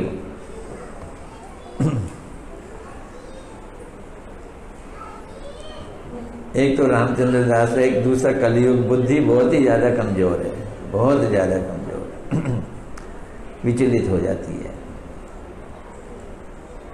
अभी महाराज जी बोल रहे थे, सुकृति वाला ही इस लाइन में आता है। तो ये सुकृति क्या है? इसे समझना जरा हमारे भागवत में कथा आती है, बलि महाराज जी बहुत दानी थे थे वो असुर कुल से, लेकिन उनके स्वभाव में दान था। जो मांगने आता था उसको देते देते तो उनके पिछले जन्म की एक जगह कथा आती है, मैंने सुनी कहीं। हमारे गौड़िया संप्रदाय में नहीं सुनी, पर सुनी। एक चोर था। चोरी करता था और शाम को नहा धो के तैयार होके अपनी प्रेमिका वैश्या के पास जाता था। प्रेमिका थी, पर वो क्या थी? वैश्या थी। उस चोर का एक गुरु था और उस गुरु ने गुरु मंत्र दिया था कि बेटा खूब चोरी कर, बस एक काम मत करना। हरी कथा कभी मत सुनना। कभी भी हरी कथा मत सुनना। अगर सुन लिया तो तू धंधे से गया। उसने ये निर्णय कर लिया कि कभी कथा नहीं सुनेगा। लेकिन जब वो वैश्या के पास शाम को जाता था तो शाम के समय मंदिरों में कथा होती है, रास्ते में एक मंदिर आता था, स्पीकर लगा हुआ था और कथा बाहर भी सुनाई देती थी। तो वो अपने दोनों कानों को कस के बंद करके फिर वो अपने प्रेमिका के पास, वैश्या के पास चला जाता था। एक दिन वैश्या कहती है कि कैसे प्रेमियों खाली हाथ लटका के आ जाती हो। चोरी करता था, पैसा उसके पास था, पैसा दे देता था। अब वो प्रेमिका गिफ्ट मांग रही है। बड़ा उत्साहित हुआ। दूसरे दिन जी ढेरों गिफ्ट खरीद ली है उसने। साड़ी खरीद ली, मिठाई खरीद ली है और ना जाने क्या क्या खरीद ली है अब दोनों हाथ उसके भर गए। तीसरा था नहीं। क्या? हाथ। तो दोनों हाथ भर गए उसके। अब वो लेके चला। अब मंदिर आया। अब क्या करे? वो भूल ही गया कि मंदिर बीच में आता है। और मंदिर में कथा हो रही है। अब उसने सोचा कि एक ही उपाय है कि यहाँ से दौड़ के जगह क्रॉस कर जाऊँ मैं। बड़ी तेज दौड़ने की उसने प्लानिंग कर ली। कथा नहीं सुननी आवाज़ नहीं सुननी और अगर ये निर्णय कर लो नहीं सुननी तो सुनाई देगी ही देगी। फिर कथा कर क्या हुआ? कथा करने वाले रामचंद्र हाँ। अच्छा। मैं एक जमाने में बिरला मंदिर में कथा सुनने के लिए जाया करता था, अभी गौड़िया मठ में नहीं आया था। राम किंकर जी बोला करते थे, मुझे अच्छी लगती थी उनकी कथा। तो जब मैं घर वापस आ रहा था तो मोहल्ले में ही एक आदमी मेरा कहाँ से आ रहे हो? मैंने कहा, मैं बिरला मंदिर में कथा सुन के आ रहा हूँ। बोलते, कैसे सुनते हैं? वहाँ तो कौए काउ काउ करते हैं? मैंने कहा, मुझे तो कभी नहीं सुनाई दी है कौए अब दूसरे दिन जब मैं कथा सुनने गया तो खूब कौए रहे उसने ये विचार डाल दिया तो कौए काउ काउ सुनाई दे रहे थे। अब वो तेज़ी से दौड़ा, बहुत तेज़ी से दौड़ा। और उस समय वो कथाकार एक ही बात को बार बार कह रहा था कि, अगर कभी तुम्हें ऐसा लगे जीवन में कि आपके ज़िंदगी का आखिरी समय आ गया है तो आपके पास जो कुछ भी है, उसे भगवान को अर्पित कर। इस बात को अच्छी तरह से गांठ में बाँध लो कि लगे ज़िंदगी का आखिरी समय आ गया है तो आपके पास जो कुछ भी है, उसको भगवान को अर्पित कर दो। वो दौड़ता जा रहा था और ये कान में उसकी बात घुस गई। और इस बात के घुसते ही उसके एक पत्थर पड़ा था कस के पैर पड़ा पत्थर में, और उस गला वाली खाई उसने धड़ा धड़ धड़ा धड़ हाथ में जो था वो गिरने लगा, और सामने एक सीढ़ी थी, थड़ी की सीढ़ी दुकान की, और सीढ़ी के कोने पे उसका माथा जाके टकराने लगा, और उसके कान में वही आवाज़ आ रही कि अगर तुम्हें ज़िंदगी में ये लगे कि आखिरी समय आ गया है तो जो कुछ भी तुम्हारे पास, उसे भगवान को अर्पित और पता नहीं, आप भगवान कौन हो, मुझे नहीं मालूम, पर मेरे पास जो कुछ भी मैं आपको अर्पित करता हूँ, क्या कि वो ठान उससे लगा, मर गया। और वो ही सुना है अगले जन्म में क्या बना? बलि महाराज बना। और बलि महाराज ने अपने जीवन में सब कुछ भगवान को अर्पित करने की प्रवृत्ति आ गई। किसके कारण आई? सुकृति के कारण आई। ऐसी ऐसी सुकृतियाँ जब हमारे अंदर होती हैं तो वो प्रवृत्ति हमारे पास आती है। गुरु महाराज जी, प्रहलाद महाराज जी की भी सुकृति सुनाया करते थे। ऐसे सुकृतियों के कारण ही आप लोग सत्संग के सुनने के सौभाग्यशाली बने हो समझ लो इस बात को अच्छी तरह से। वो सुकृतियाँ आप में थी, आप सौभाग्यशाली बने। फिर उस सौभाग्यशाली सुकृतियों के कारण आपने सत्संग सुने और सत्संग सुन के अधिकतर गौड़िया मठ में जो आए हैं, उन्होंने यहाँ पर दीक्षाएँ ली हैं। मैं समझता हूँ कि इस सारी के सारी सभा में साठ सत्तर परसेंट लोग वो होंगे जिन्होंने यहाँ पर दीक्षाएँ ली हुई हैं। आजकल तो दो दो महाराज एक साथ बैठे हुए हैं हमारे यहाँ व्यास आसन पे। बड़ा ही चमत्कृत वाला, चमत्कार वाला दिवस है। तो पूजपाद वन महाराज जी के भी शिष्य होंगे पूजपाद सीधे महाराज जी के भी शिष्य होंगे और कुछ हमारे गुरु महाराज जी के भी शिष्य होंगे और कुछ वो लोग होंगे जो शिष्य होने वाले होंगे। हैया छेन हैया बेन कुछ माधव महाराज जी के भी यहाँ शिष्य होंगे। हैया छेन हई बेन हाँ, तीरथ महाराज जी के शिष्य भी हैं हैं हैं हैं। तो सब सारे महात्माओं के शिष्य हैं।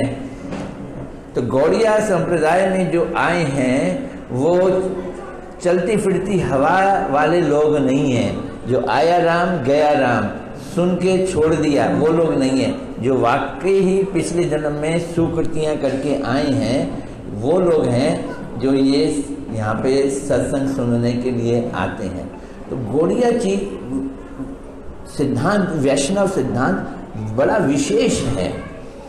और उस विशेषता को समझना है। वो हमारे गुरु महाराज जी देना चाहते थे। मैं पाँच दस मिनट में गुरु महाराज जी की एक बात आपको प्रस्तुत करने के बाद माइक छोड़ दूँगा। अब माइक मिला है तो उसका इस्तेमाल कर रहा हूँ।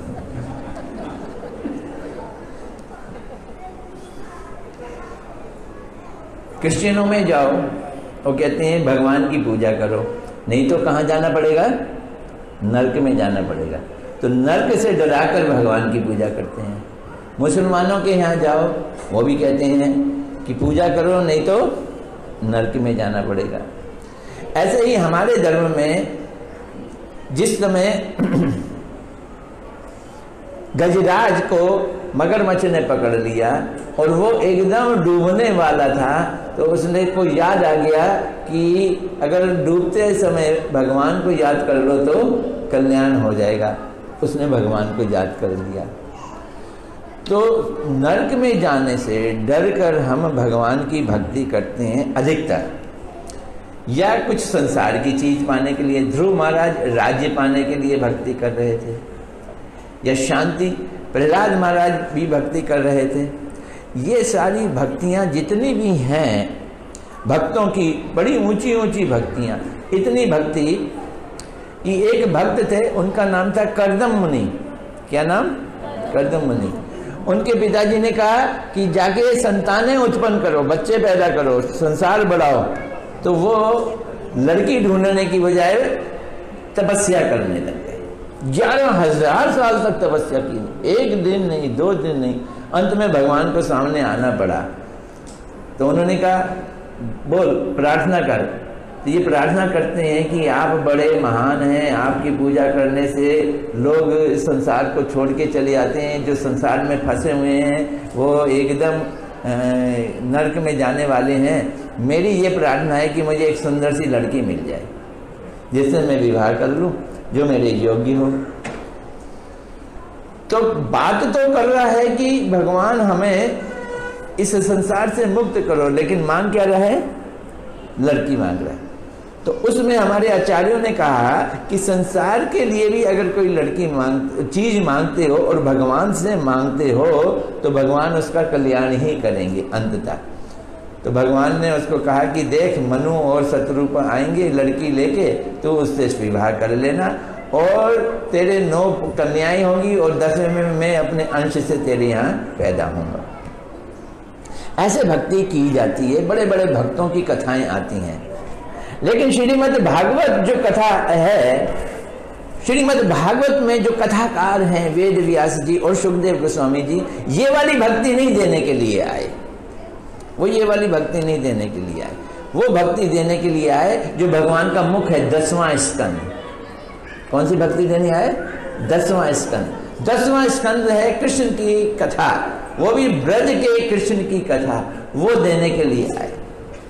उसमें भी अपने अपने पिछले जन्मों की सुकृति पे निर्भर करता है। अब कृष्ण की कथा को भी गुरुदेव बतला रहे हैं। बड़े सुंदर ढंग से पूतना ने कृष्ण को मारने के लिए आई और उसने स्तन में जहर लगाया और वो जहर लगाकर उसने कृष्ण को दिया। और कृष्ण ने जहर के साथ उसके सारे दोषों को पी लिया, उसके सारे जो अनर्थों को पी लिया और उसको वहीं पे अपने धाम में ही धात्री उचित गति दे दी। तो अब इसमें जब वो उड़ के गई सुनना और जब वो उड़ के गई, कृष्ण उसकी वक्ष स्थल पर थे। तो एक यशोदा जी की सहेली थी, वो कृष्ण को देख रही थी। और इधर यशोदा को देख रही थी। यशोदा तो मूर्छित हो गई। इस दृश्य को देख के यशोदा तो मूर्छित हो गई। और वो पूतना के पीछे भागी। उसने देखा नहीं, आगे दरवाज़ा है, खट्टा है, क्या है? पूतना के पीछे भागी। किस लिए भागी? उसके स्तन पे, पक्ष स्थल पे बैठा हुआ वो जो लाला था, उसको पकड़ के किसको देना है? यशोदा को देना है। भागती जा रही है, भागती जा रही है। और जो कृष्ण को ध्यान में रखकर उस पर नज़र करके भागेगा तो उसको ठोकर नहीं लगेगी, जैसे इस चोर को ठोकर लग गई। उसको ठोकर ही नहीं लगेगी। और जब पूतना धड़ाम करके गिरी तो उसके हाथ पे चढ़ के सीढ़ियों की तरह ऊपर चढ़ गई और कृष्ण को पकड़ा और भागी भागी आई और क्या किया? माँ यशोदा के गोदी में रख दिया। माँ को उस समय होश आए तो गुरुदेव बतलाते हैं कि जो डर के भक्ति कर रहे हैं, उसे वैधि भक्ति कहते हैं। वैधि भक्ति वाले देखेंगे, वाह वाह वाह वाह वाह, कृष्ण कितने उदार हैं। उन्होंने पूतना जैसी को भी, जो उसे मारने आई, उसको अपने ही धाम में धात्री गति दे दी। भगवान बड़े उदार हैं, हमें उनका नाम लेना चाहिए। ये एक भाव से भक्ति है, और दूसरी भक्ति है, जब पूतना को जब कृष्ण पूतना के साथ चले गए, उस समय यशोदा का क्या हुआ? तो यशोदा के भाव में डूबकर अगर कोई चिल्लाने लगे, रोने, हाय, यशोदा माँ का क्या हुआ? इसका मतलब है उसके अंदर कृष्ण के प्रति कौन सा भाव है? वात्सल्य वाला भाव है। ये वाला जो भाव की भक्ति है, वो रागानुगा भक्ति है। तो गौड़िया संप्रदाय में ये बतलाया जा रहा है कि हम आपको वैधि भक्ति देने नहीं यहाँ कौन सी भक्ति देने आए हैं? वो रागानुगा भक्ति देने आए। गुरुदेव बतला रहे हैं रागानुगा भक्ति देने आ रहे हैं। भगवान के चमत्कारों से चमत्कृत होने की बजाय जो भगवान के भक्त जिन भाव से उनकी सेवा कर रहे हैं, उन भावों में लोभ जगाने के लिए ये कथाएँ कही जा रही हैं, जो आपको उस भाव से सुननी है और उस तरह के भाव को अपने अंदर पैदा करना है। गौर प्रेमानंदे।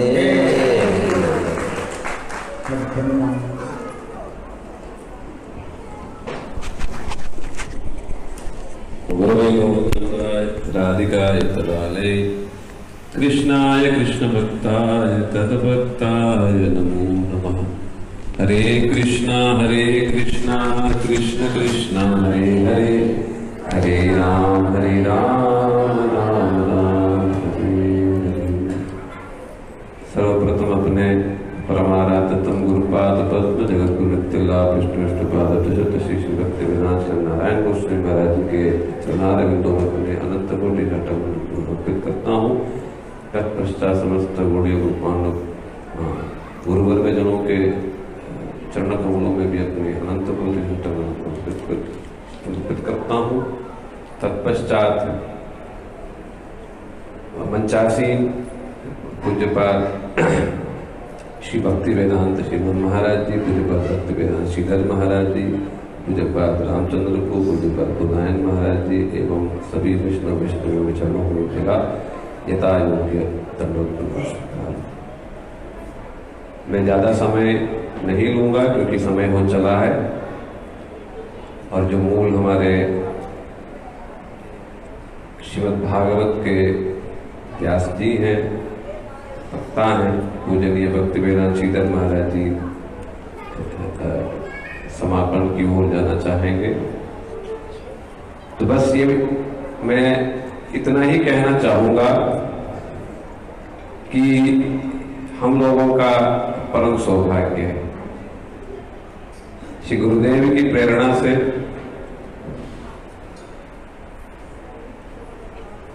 पिछले साल से जब सारी विपत्ति टली सब कुछ हुआ तो मन में भावना जगी कि हमारे पूजनीय जो इंटरनेशनल गोडे वेदांत ट्रस्ट के जो वर्तमान जो प्रेसिडेंट हैं, पूज्यपाद भक्ति वेदांत वरुण महाराज जी का इस समन बिहार में सुंदर भव्य रूप से श्रीमद् भागवत सप्ताह हो। वो भी संपन्न हुआ। फिर दूसरी बार भी हुई। फिर उसके बाद मन में बड़ी लालसा थी कई दिनों से कि हमारे जो वाइस प्रेसिडेंट हैं पूज्यपाद भक्ति वेदांत श्रीधर महाराज जी का भी भव्य जो है भागवत इस मंदिर प्रांगण में हो। वो भी आज के दिन श्रीरमन बिहारी की कृपा से और श्री नवीन प्रभु और जो उनकी पूरी मंडली है, सहयोगी जन है, सबके सहयोग से संपन्न होने को जा रहा है। ये हम लोगों का परम सौभाग्य। पूज्य पाठ भक्ति वेदांत, श्रीधर महाराज जी का परिचय देना कोई ज़रूरत नहीं है। सभी लोग स्वतः ही, स्वाभाविक रूप से ही परिचित हैं। पहले इनका नाम प्रसानंद प्रभु था भले ही श्रीधर महाराज जी नाम बदल गया, फिर भी रस तो अभी भी है। वाणी में, मन में सब प्रकार से। बड़े मधुर मिठास वाणी से जो भागवत का परिवेशन कर रहे हैं, वो हम लोगों का सौभाग्य है। और श्री रमन बिहारी भी बड़े ही चतुर हैं। अब मैं कई बार इस बात को कह रहा हूँ, कहता रहूँगा कि हम लोगों में से जो भी हम सुन रहे हैं, अभी सौभाग्य की बात है, रसायन की बात है, कथा सुनना चाहिए। जितनी बात हम सुन रहे हैं, फिर भी हम इतने चतुर हैं कि जैसा प्रभु जी ने कहा, कान बंद करके हम निकलने वालों में से हम हैं। हम तब जाते हैं जब कुछ भंडारा होता है। जब है ना? कि तो रमन बिहारी भी चतुर है, यहाँ बिना भंडारे के कोई कार्यक्रम नहीं होता। ये पूछ रहे थे, होता इस, इसके बिना तो होता ही नहीं, क्योंकि यहाँ भी श्री रमन बिहारी भी बड़े चतुर हैं, उनको पता है, इसके बिना तो मेरे भक्त नहीं आते। तो इसीलिए वो भी प्रयासरत रहते हैं कि सभी समय जो है, बिना मतलब बिल्कुल बिना किसी रोक टोक के खुला, एकदम सबके लिए प्रसाद सातों सब समय यहाँ चलती रहे। तो इन सब बहाने से जो लोग नहीं भी सुनना चाहता है, वो भी किसी न किसी गलती से पहुँच जाते हैं। और जैसा प्रभु जी ने कहा वो एक शब्द कान में पड़ जाता है। तो फिर क्या हो जाता है जीवन? तब कथामृतम तप्त जीवन। फिर न घर के, न गाद के। न संसार भोग, न संसार ठीक से भोग होता है ना ही भक्ति पूरी तरीके से त्याग कर पाते हैं। बीच में बीच में फंस जाते हैं अरे अभी क्या करूँ अब? संसार की तरफ़ जाऊँ कि भगवान की तरफ़ जाऊँ? कि तो चिंता ना करो। ये रस ऐसा है कि भागवतम में बताया गया है कि भागवत रसामृत तृप्त नान्यत स्यादि क्वचित। इस भागवत के रस में जिसने थोड़ा सा छक लिया है थोड़ा सा रस ले लिया है, जिसके तन, मन, प्राण, चित्त तक स्पर्श कर गया है, उसको संसार क्या किसी भी चीज़, देवी, देवता की चीज़, मोक्ष की चीज़, ज्ञान की चीज़, कर्म की चीज़, कुछ भी अब बढ़िया लगेगा ही नहीं। एक बार फंस गए तो समझ लो फंस गए। क्यों? ये कृष्ण का रस ही ऐसा। चक्रवर्ती पाद जी इसी श्लोक की व्याख्या में ना भ्रमर गीत के श्लोक की व्याख्या में श्री राधा जी ने जो कहा था वहाँ पर कहते हैं हैं ये हा ये जो श्लोक है आ, हाँ? हाँ? गृहम उत्सृज्य बहव भिक्षुचर्याम चलंती ये का श्लोक है, प्रारंभ दो लाइन में भूल रहा हूँ। तो वो श्लोक की टीका में चक्रवर्ती पाद जी ये कहते हैं, और श्री गुरु महाराज जी इस बात को बार बार कहते थे बार बार कहते थे। स्मरण करने योग्य चीज़ वो कहते हैं कि गाँव में, शहरों में भी वही हाल है। कि भागवत के वक्ता लोग पहुँच जाते हैं और कहते कैसे? बगल में बगल में भागवत की पोती को दबा के पहुँच जाते हैं। चक्रवर्ती पाद जी का शब्द है। और कहते हैं, हमें कुछ नहीं चाहिए। हम कुछ नहीं गए नहीं। हम कुछ लेना भी नहीं चाहते। बस आप केवल कथा आकर के सुनो। और वो इस प्रकार से सुनाने लगते हैं, इस प्रकार से सुनाने लगते हैं कि वो कृष्ण रूपी जो विष है, वो विष कान में जब प्रवेश कर जाता है, जो व्यक्ति उस कथा को सुनता है, वो क्या हो जाता है? वो वो पागल सा हो जाता है। वो कैसा रस है? वो नाम ही ऐसा है कृष्ण। कृष्ण माने खींचना। खींच लेते हैं, पूरा खींच लेते हैं। तो वो वो पूरा जब खींच लेते हैं, पूरी तरीके से वो पागल सा हो जाता है। वो फिर क्या करता है? गृहम उत्सृज्य देना, सब कुछ त्याग देता उसको अब कुछ भी बढ़िया नहीं लगता, बेकार सा लगता सारा सब कुछ। वो रोता है कृष्ण के लिए, इरादा जी के ही शब्द है। वो रोता है कृष्ण के लिए, उसके लिए। घर वाले रोते पत्नी रोती है माता पिता रोते हैं, बच्चे रोते हैं। पूरा सबके सबको रुला के रख देते तो राधा जी कहती है, हमें ये कथा नहीं सुननी है, ये रुला के रखता है। फिर यदि रुलाता है तो बार बार वही कथा को क्यों कह रहे हो? क्योंकि रस तो इसी में ही है, बाकी किसी में रस ही नहीं है, गन्ना चूसते रहोगे तो रस सब निकल गया तो गन्ने में क्या रह गया? कुछ भी नहीं रह गया। तो ठीक वैसे ही ये कथा रूपी रस ऐसा ही है। जिसने चाह के न चाह के दबाव में, किसी भी लालच में, भले वो प्रसाद का ही सही भले वो कथा में ना भी बैठे, बाहर प्रसाद पा करके जाए, दस बार पाएगा, सौ बार पाएगा, उसके बाद ज़रूर वो प्रसाद ही उसको खींच के लाएगा। हम सभी लोग भी वैसे ही, प्रसाद पा पा के ही आज हाल। तो इसीलिए तो इसीलिए ये सब व्यवस्था है और ये हमारे मंगल के लिए इसमें डरने की कोई बात नहीं है। इसी में हमारा सुख है, इसी में हमारी शांति है, इसी, यही हमारा मंगल का मूल स्रोत है। तो इसीलिए श्रीमन बिहारी जी बड़े दयालु हैं। सात दिन का ये कार्यक्रम भव्य ये कार्यक्रम जो है आयोजन किया है।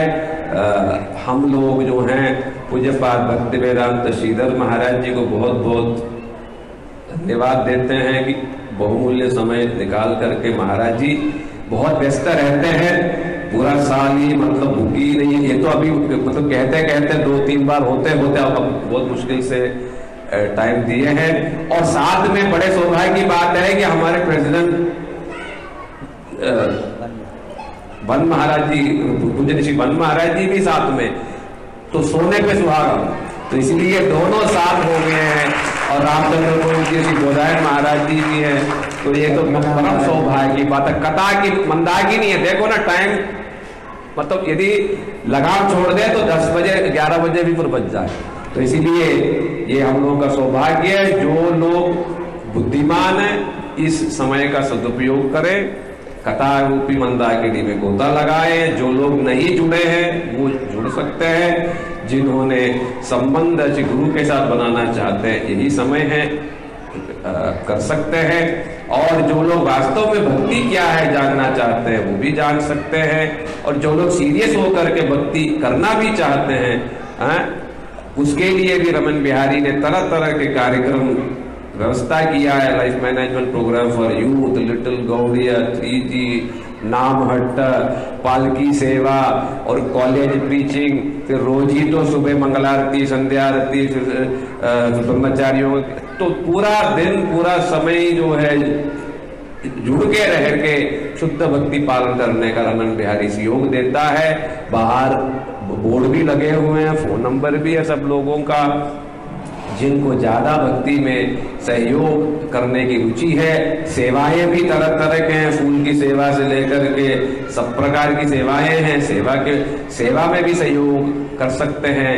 और ये सब करते करते कब कृष्ण में प्रेम हो जाए, आपको पता भी नहीं चलेगा, जीवन सफल हो जाएगा, धन्याति धन्य हो जाएगा। लोग प्रेमानंदे हरि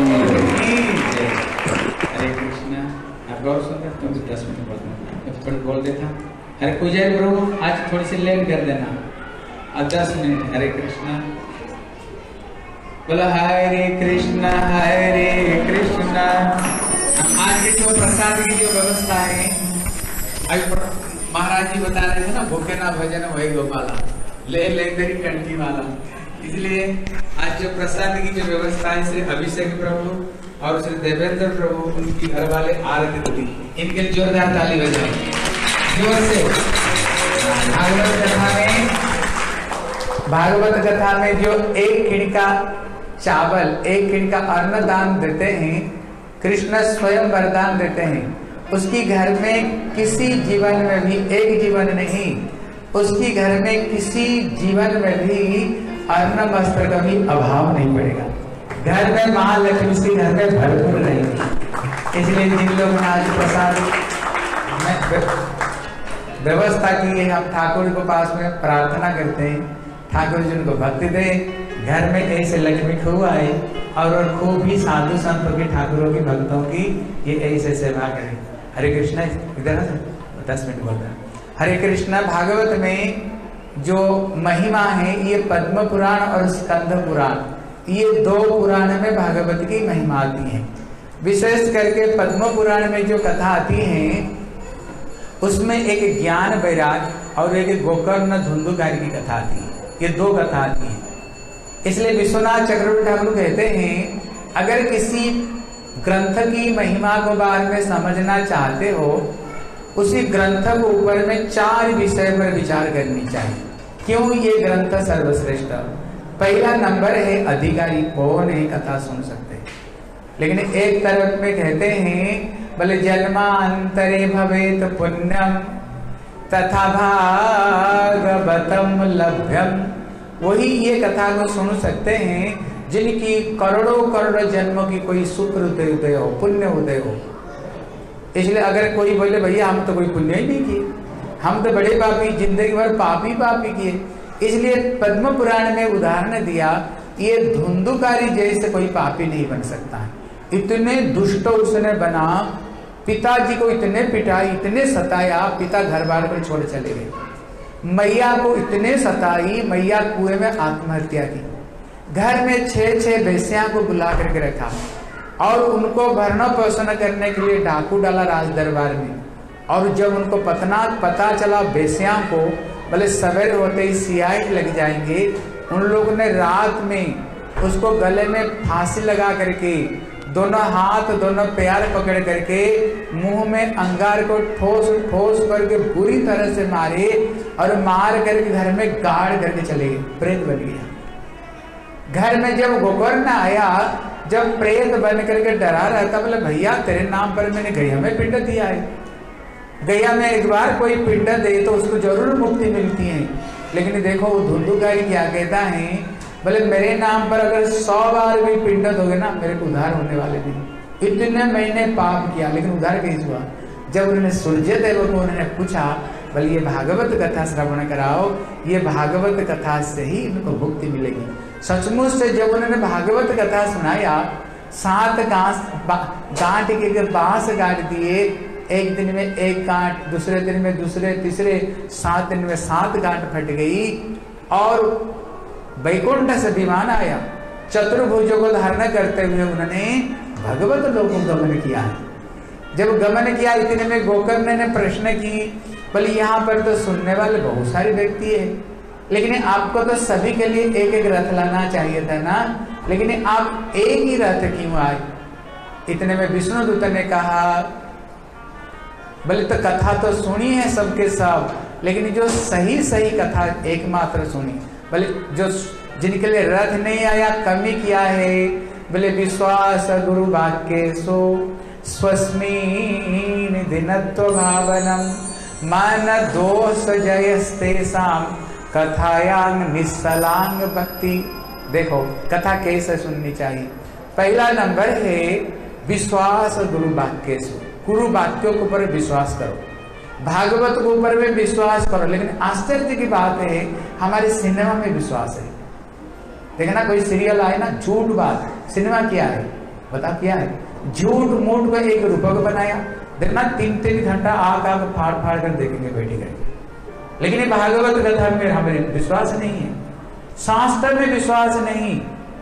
जो साक्षात भगवान की मुँह से निकली हुई वाणी है, जो भगवत स्वरूप, जो भागवत है, धर्म तो साक्षात भगवत प्रणीतम। ये भागवत साक्षात भगवान के मुँह से निकली हुई वाणी है।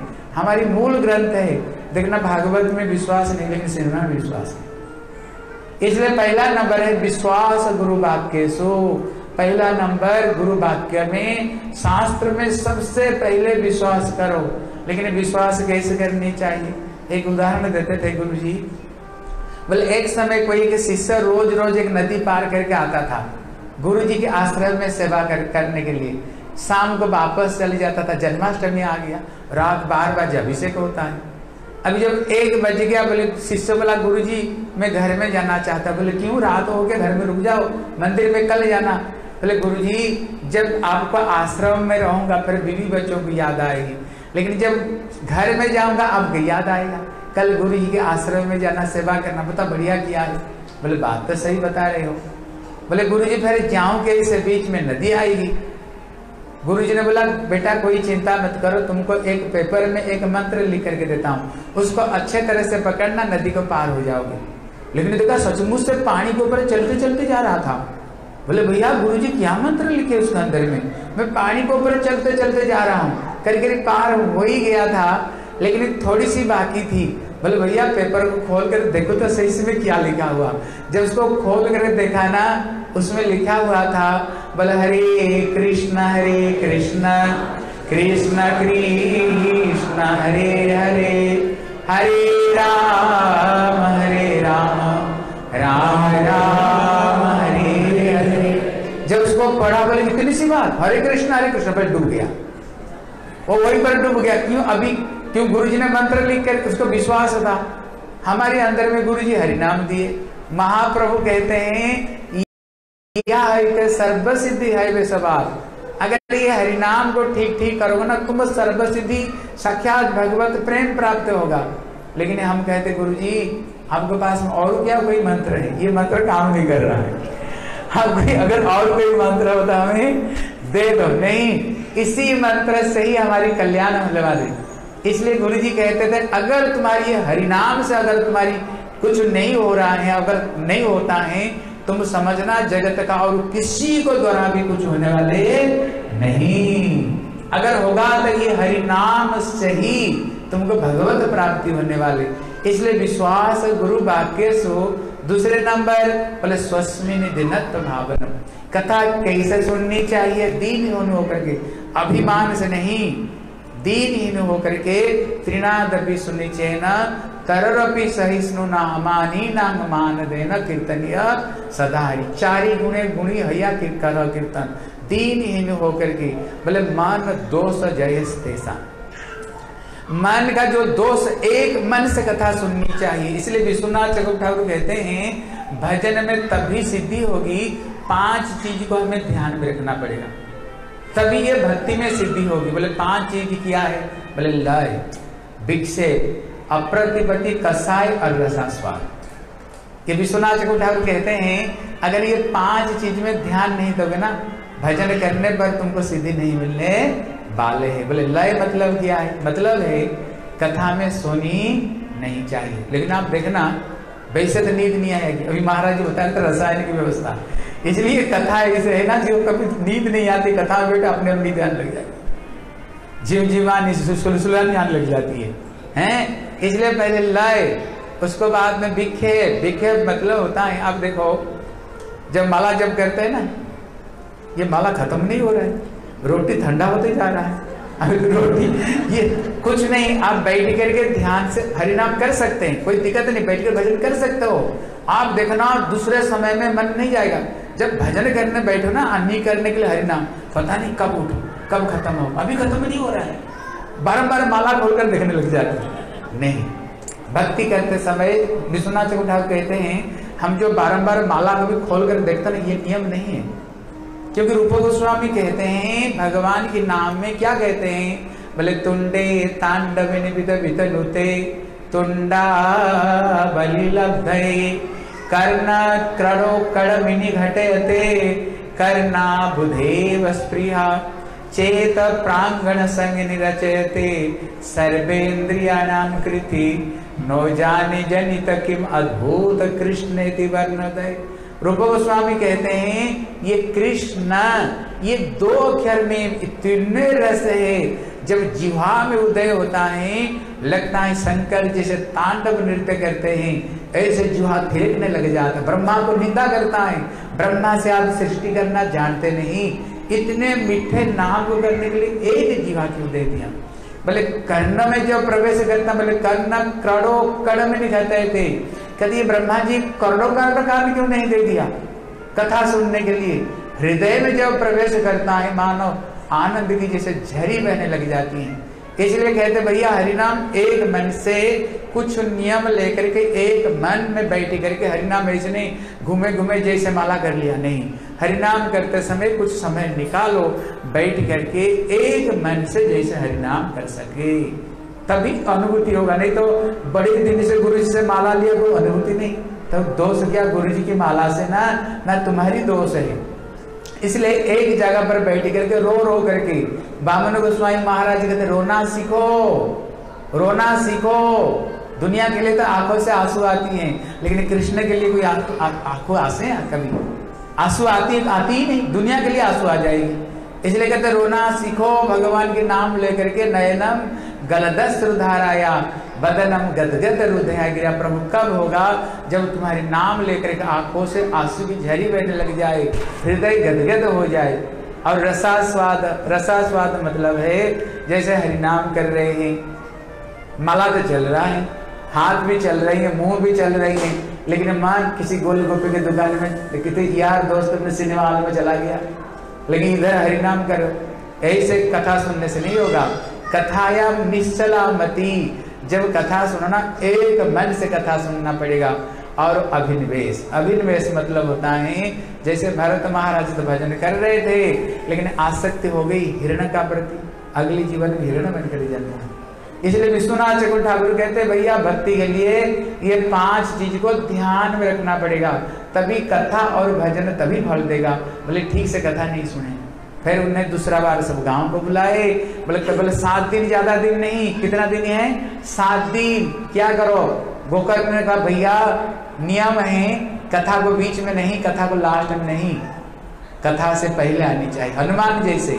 देखना, कहीं भी राम की कथा होगा ना, सबसे पहले हनुमान की फट लगता है। इसलिए पहले जत्र जत्र रघुनाथ कीर्तनम। अगर करोड़ों जगह में राम की कथा होगी तो हनुमान जी करोड़ रूप धारण करते हैं। सबसे कथा से सबसे पहले जाएँगे और पीछे बैठ करके, हाथ जोड़ करके, आँखों से आँसू बहाते हुए गदगद होकर के हनुमान की कथा सुनते हैं। इसलिए हनुमान जी कौन है? बोले, ज्ञानी नाम अग्रगण्यम। हनुमान जैसे इतने बड़े ज्ञानी कोई नहीं हो सकते हैं। लेकिन कथा से पहले जाते हैं। आप बताओ, सिनेमा देखने जब जाते हैं, कथा को बीच में ना लास्ट में सिनेमा में जाते हैं। अरे बताओ, कितने बजे जाते हैं? कथा से पहले जाते हैं ना।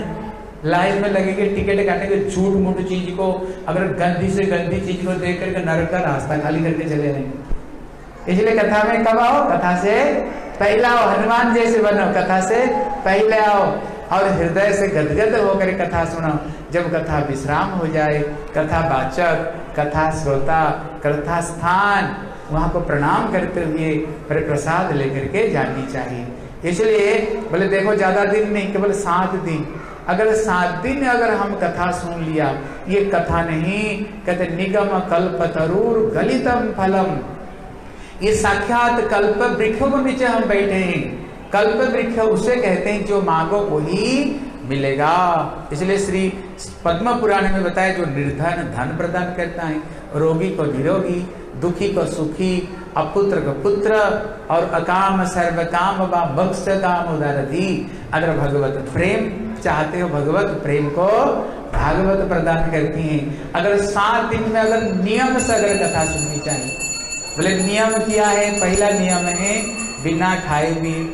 अगर ये नहीं कर सकते फल खा करके। ये नहीं कर सकते एक बार फलाहार, एक बार भोजन, ये सबसे बेस्ट बताए। अगर इसमें भी कोई दिक्कत हो ना, बोले भैया जितना बार भोजन करना करो, कोई बात नहीं, लेकिन कथा को ठीक से, कथा को ठीक से श्रवण करो। अगर इसको नियम से जो व्यक्ति श्रवण करेगा, जो सात दिन में मांगेंगे, भागवत कथा समस्त इच्छाओं को पूरी कर देगी। हम तो सोच रहे थे आज कथा की कुछ महिमा हमारे गौर सूत्र बोलेंगे, लेकिन टाइम हो गया है। फिर हम, कल से, आप लोग कितने बजे से आ सकते हैं कथा सुनने के लिए? बोलो, कितने बजे आ सकते हो? अरे बोलो, ठीक से। माता जी कहते, चार बजे।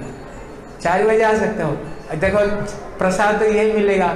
घर में सबसे बड़ी समस्या है भोजन। क्यों, घर में जाकर भोजन बनाना पड़ेगा, लेकिन प्रसाद तो यही मिल रहा है। इसलिए हम चाहेंगे, जितने से ज़्यादा से ज़्यादा जैसे हम कथा को सुन सके। इसलिए आप लोग कोशिश करना, चार बजे आने के लिए, फिर हम साढ़े आठ बजे फिर कथा को विश्राम कर देंगे। अगर आप चार बजे आ जाओगे। ठीक है, अभी आरती होगी। हम हम सोच रहे एक भजन सुनने के लिए। भजन सुनोगे? प्रभु जी, आप पाँच मिनट रुक जाओ। प्रभु जी आप आप गाओ। ब्रजराज ब्रज फटाफट फटाफट बोलेगा अब पाँच मिनट रुक जाओ।